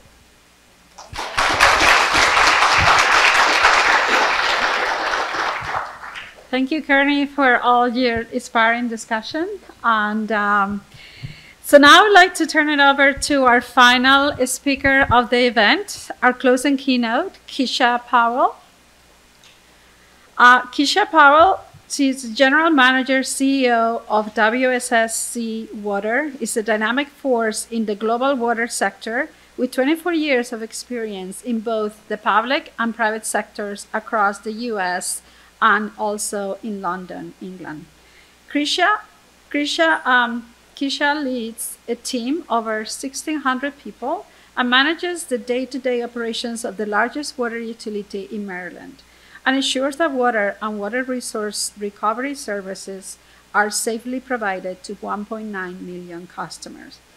A licensed professional engineer in Maryland, Virginia, and the District of Columbia, Kishia holds a Bachelor of Science in Civil Engineering from Morgan State University's Clarence M. Mitchell Junior School of Engineering. Let's welcome Kishia Powell to the stage.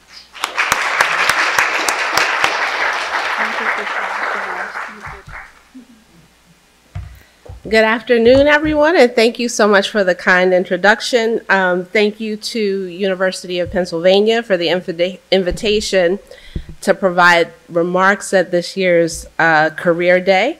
I also want to thank and acknowledge the Water Center for your leadership in addressing the sector's many challenges and your tireless efforts to accelerate water equity. I recall during the pandemic, um, I was I had an opportunity to be on a panel uh, on water affordability um, with the with the Water Center, and so that's a topic that is always uh, really top of mind for me, especially now as we're advocating for a budget that allows for investment in our critical infrastructure and our team members who are truly our most important assets. And um, I actually have a Howard story. I have a few Howard stories, but uh, I only have 10 minutes, and my communications team uh, wrote um, 30 minutes of remarks. So I will spare you the Howard story. Um, but again, our, our team members are our most valued assets, um, like Ayana Castro, who is here, and um, I, from our HR team, and I'm sure uh, she has told you all about WSSC Water today if you had a chance to visit the table. If not, we'll talk about it more during the networking session. Um, but um, not only are we the largest water wastewater utility in the state of Maryland, we're the eighth largest in the country out of 55,000 uh, water wastewater utilities. And um, as of January, we became a member of the Global Water Network. Hi, Travis. I didn't see you back there. Um, it is, you know, being a, a leading utility, um, that was an accomplishment for us. It came as a result of many different innovations um, and, and thought leadership through our utility, which was not just by engineers. It, it really takes a village of, of thought leaders um, to continue to progress. Um, but in my mind, there's one thing that makes us special and it's our people. Does anyone know what last week, or was it, yeah, last week I'm using track of time, October 19th was? Hazard, you probably know this. Yes, imagine a day without water. I was afraid no one would know because then I would have had to pivot in my remarks. That's right. Imagine a day without water.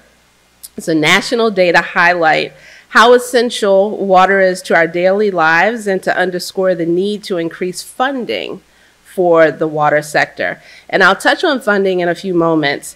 But in recognition of Imagine a Day Without Water, we put together a short video to honor WSSC Water employees this year, better known as Team H2O.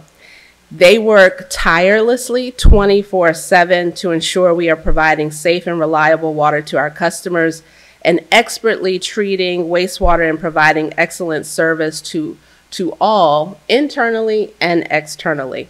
So let's take a look. This is our passion. We are WSSC Water, always on the job. Our frontline heroes, delivering essential drinking and wastewater services to you and your family. This is our One Water mission for you, our 1.9 million customers. Our track record is impressive. Over a century of service without a single drinking water quality violation. Our dedicated employees always protecting public health, safety, and the environment. We are Team H2O, and we are always on the job, ready to serve you.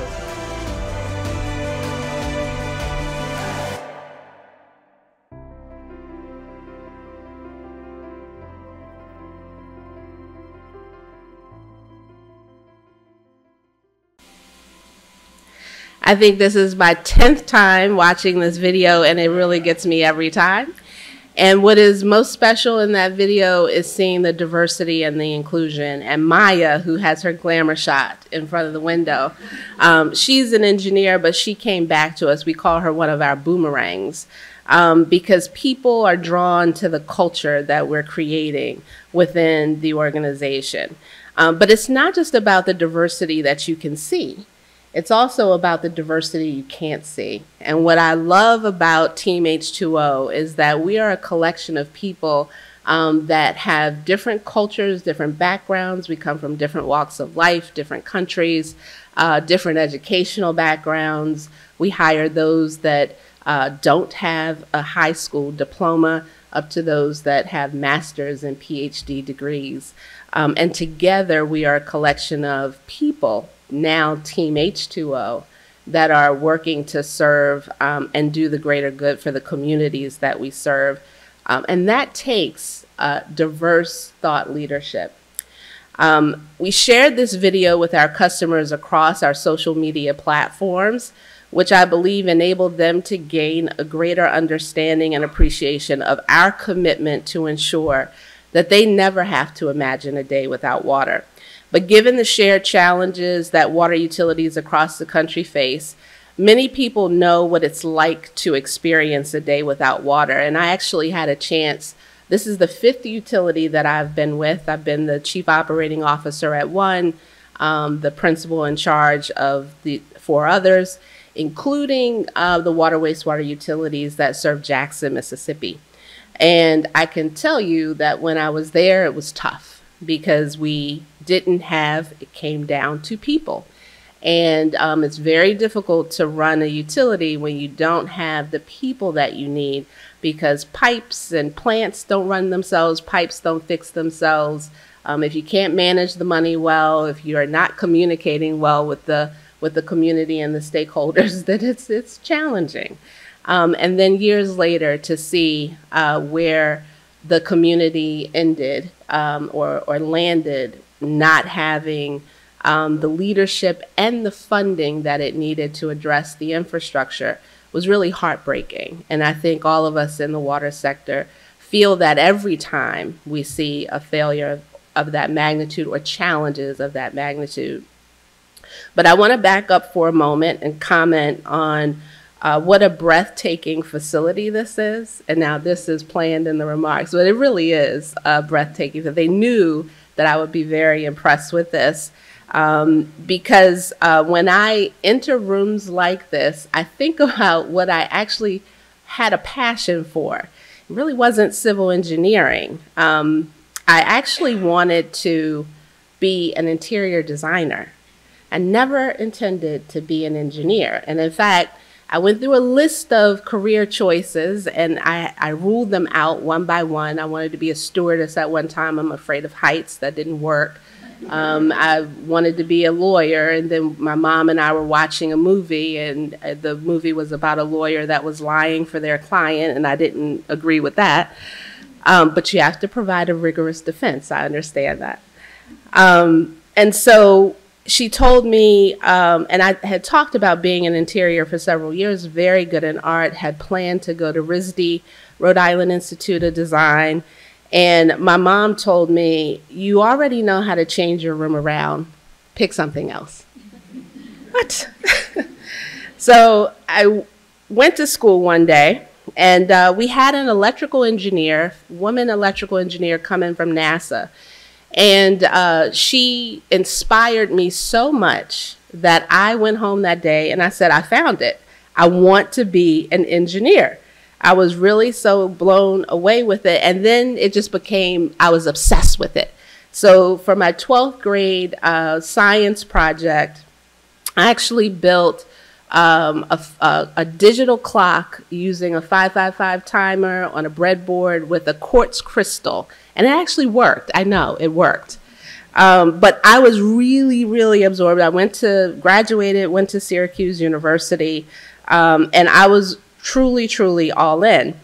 Um, and I ended up transferring from Syracuse to Morgan State University. I did not take my studies as seriously as I was passionate about engineering and figured I would go to Morgan, get my grades up, and then go back to Syracuse. But I really found my village at Morgan State University back home in Baltimore. I went in my um, advisor's office and he had a picture of, of Frank Lloyd Wright's Fallingwater on the wall. And um, you may know he's an architect. And um, after expressing my interest in architecture, my advisor said, Well, we don't have that here, so pick civil engineering. It's the same thing. It really is not. but again, as someone who was afraid of heights, building bridges wasn't my thing, so that part of civil engineering wasn't going to work. So I signed up for different internships. I actually did one at State Highway Administration. I'm glad I didn't go into transportation. I think water is better, even though transportation gets more money. Um, and I started to choose uh, internships in the water space, or, or they chose me. I actually interned for the Critical Area Commission in Annapolis, um, which is really where I fell in love with the water on the Chesapeake Bay. Um, I love to sail. Annapolis is my favorite place on earth of all of the places that I have been. And I also did an internship during school with the City of Baltimore's Bureau of Water and Wastewater. And um, I realized that there will always be challenges in water as I thought about it more toward graduation and what I wanted to do. I knew that I absolutely wanted to be in the water sector because, after all, when will we never need safe, clean drinking water? Even if people are buying bottled water, we still need safe, clean drinking water. And we also need to recover resources from, from wastewater. So that's how I got into the business. And I can tell you, I have been blessed, absolutely blessed, with the many opportunities that I could never have imagined as a young girl. And in fact, Kendra, I grew up in East Baltimore, two blocks away from where The Wire was shot. And it was about the West Side drug trade, but the East Side drug trade was just as treacherous. And for a time, Baltimore was one of those places that I was actually scared to go because I recognized what was happening firsthand. But now I claim that as my city and my place where I was born, raised, and educated.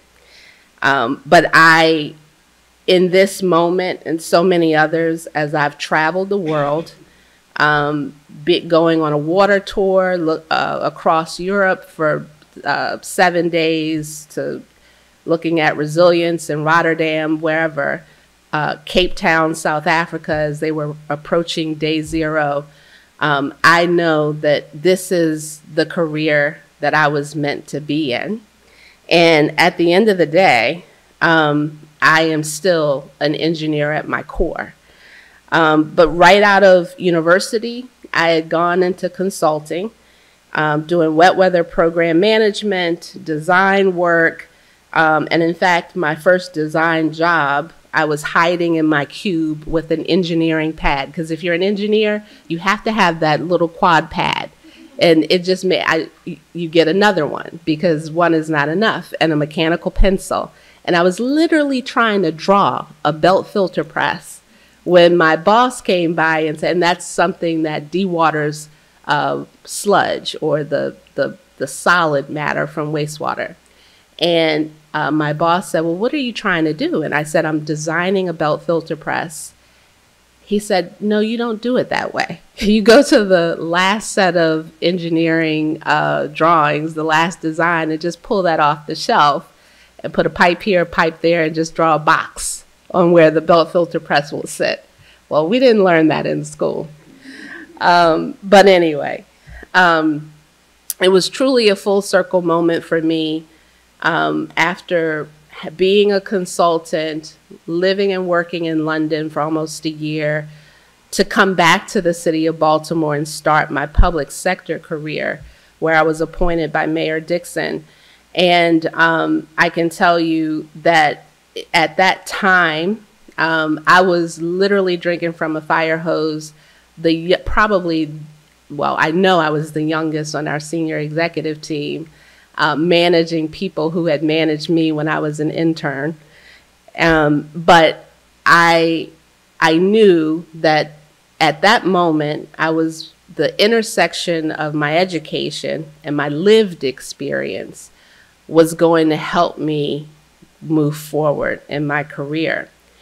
And so it was through my first utility management experience that I was exposed to all the possibilities that a career in water has. It's operations, program management, law, engineering, information technology, communications, innovation, water quality, utility management, industrial discharge. Have I touched everybody in the room yet? Um, we even have policy, safety, uh, supplier diversity, and of course, my favorite, politics, which everyone who knows me knows that's, that's not true, um, and interior design.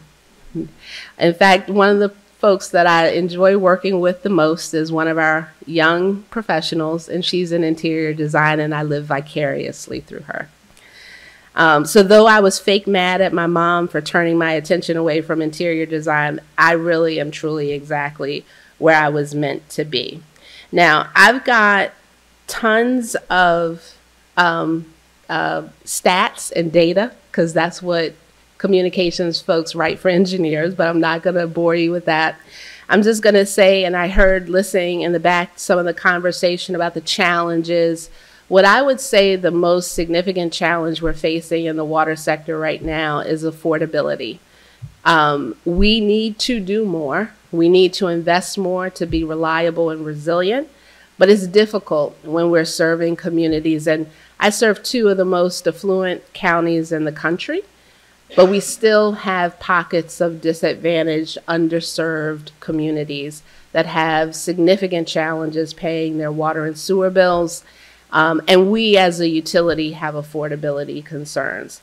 So as we think about affordability, we have to think about the least of these, those that um, are truly vulnerable to the rising costs of inflation, um, we have to raise rates because the trend in consumption is going down, not up. Um, and we have to recover that revenue. And um, it really makes it challenging when I have to, with a straight face, ask for a double digit rate increase, knowing that there will be people who will be pinched. And so we have to figure out how do we balance those needs hold them in tension when we're not getting the funding from the federal government, which is why we continue to advocate and also why it's important to make sure that we have more lived experience and more people that think differently as part of our team to help us figure this out. Um, recently, and I heard the question that you asked, um, we did an assessment for our senior leadership team um, called the HBDI, the Herrmann Brain Dominance Indicator Test. And um, many of us in the room were more blue thinkers, data driven. Uh, when we are under pressure, we think more green, organizing, figure out how to uh, address the problem, but not really resolve the problem. But it, I was happy to see we had a lot of yellow, more visionaries. We had a lot of red, people centered folks on the team. And we are working to make sure that we grow in those areas. And when we did a composite of how we all think, and the, the, the purpose of the, the assessment is to see how we think together as a team, um, we had a whole brain in the room, fortunately. And we were balanced, which is a great thing as a leadership team. So um, I say that to say that wherever, whatever your walk is now, definitely, I think what you've heard from all the speakers today is that you can find a place. You have a place in the water sector. You should. We want you to come. And I don't think I've said it enough, but we are hiring too. And I am the general manager, CEO, so I can hire you on the spot.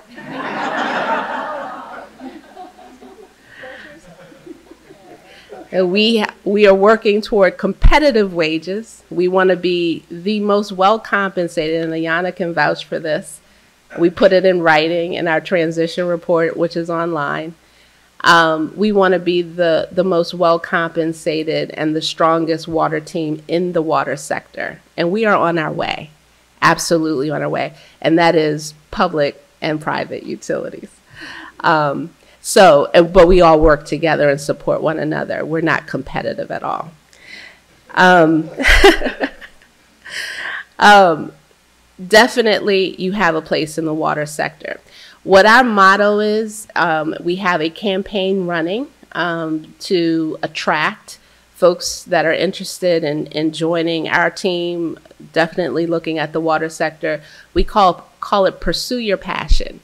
And if you look at LinkedIn, at our website, if you look at, uh, or the website, you look at our LinkedIn page, our social media, Instagram, um, X, or Twitter, whatever it is, um, you'll see videos from our team members that talk about why they are pursuing their passion at WSSC Water. So I would leave you um, with a few bits of advice, and that is to definitely hone in, understand what you what drives you, what you're interested in.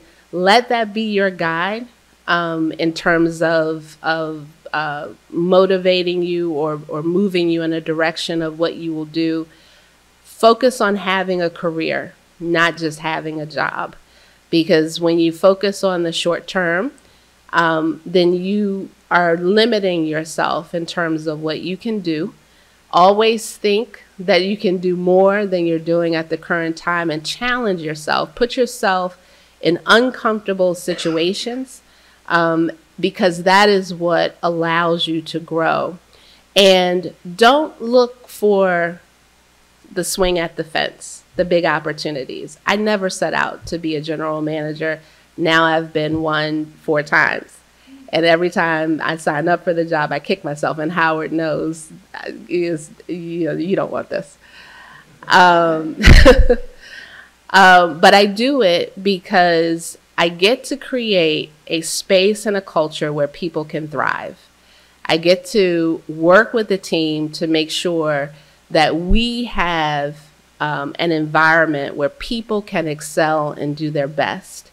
Um, and I do this because I know that there are people that we are serving that need someone to see them, that need someone to understand that at the end of the day, we have to balance the things that we need to do to make sure that we're providing the best service to them. And I invite you to come and join us at WSSC Water because I can tell you it is the best place to be in the water sector. Thank you. I think I'm supposed to take questions. Okay. Okay, so questions. Yeah. Did you have a question? Oh. No? Oh, okay. Um, hello? Hello? Uh, thank you for your talk today. Um, and I was just wondering, regarding the rate increases that you have to do, how are you going out into communities and how are you engaging them and talking with them about how this could how the how a 12% increase or how a double digit increase mm-hmm. could impact them and what what their lives would be like when trying to navigate that yeah great question because we're behind and um, but i did get a presentation this morning for town halls that we're planning um, so a combination of things a couple of weeks ago the team did some grassroots community walks um, going door to door and um, setting up a table going forward. We're going to do pop up events to make sure that folks have an opportunity to ask questions about the need, um, but to also make sure that we truly understand. We have been visiting those um, based on the data that we have, those communities that uh, where there is a concentration of folks that are having difficulty paying their bills and um, what we believe is that, and I think about affordability as a three legged stool.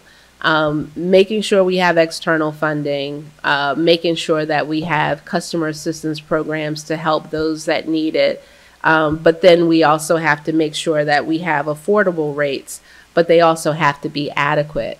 And part of the equation as well is connecting people with the jobs that we have. Um, folks eh, that are having affordability challenges, many in many cases, they're underemployed and we have great low barrier to entry jobs. Um, but we have, I mean, we have so many vacancies. I think we have 200 some vacancies at this point.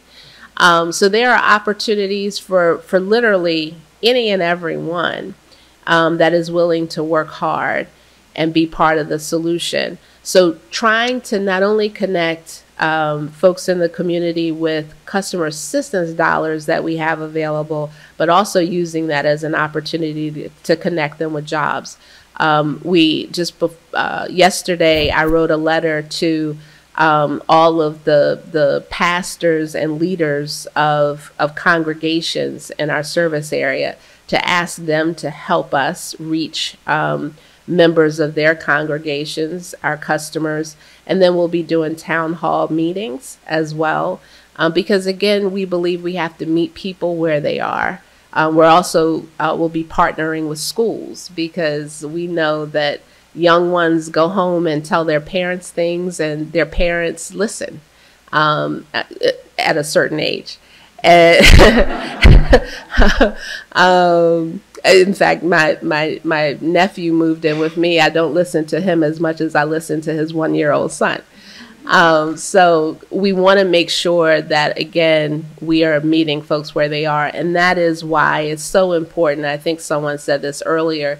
We need less engineers and more people people because we have we're what we do is about service at the end of the day. It's very technical, complex systems that we manage but at the end of the day, we're serving people. Any other questions?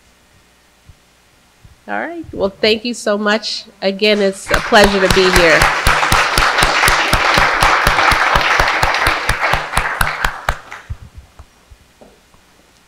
Thank you again, Kishia, for such an inspiring presentation. Um, so thank you again to all our presenters. And again, thank you to all of the sponsors who made this event possible. Bentley Systems, Aquatech, Aqua, American Water, Arcadis, Solenis, Veolia, Wavin, WSSC Water, the Penn Career Services, MBA Career Services, Penn Environmental Innovation Initiative, Penn Center for Science, Sustainability, and the Media, and the Annenberg Public Policy Center. Thank you for all of you for coming out today as well. And uh, I don't have a sustaining a Howard story, but I will have to say that my story with Howard has begun and is never going to end. Uh, I have to say, all my students, uh, I love it. When they walk in my office and like, oh, I'm interested in water, then it's like no brainer. Go and see Howard. And the best part of it, that I always check on that, right? I always, how was the conversation with Howard? And I have to say that they become inspired. They love to hear from Howard. So Howard, thank you so much for being a wonderful mentor. yeah. So I also want to thank all the team from the Water Center for putting this wonderful uh, career event together. And I also want to acknowledge Brenton McCluskey from the Water Center. Emma Dennison, right there. And my dear friend and colleague, Joanne Spinogardo. So, so now I think we have the network opportunity. Uh, we have heard from WSSC Water. The pressure is on. So let's get to the tables. Thank you so much.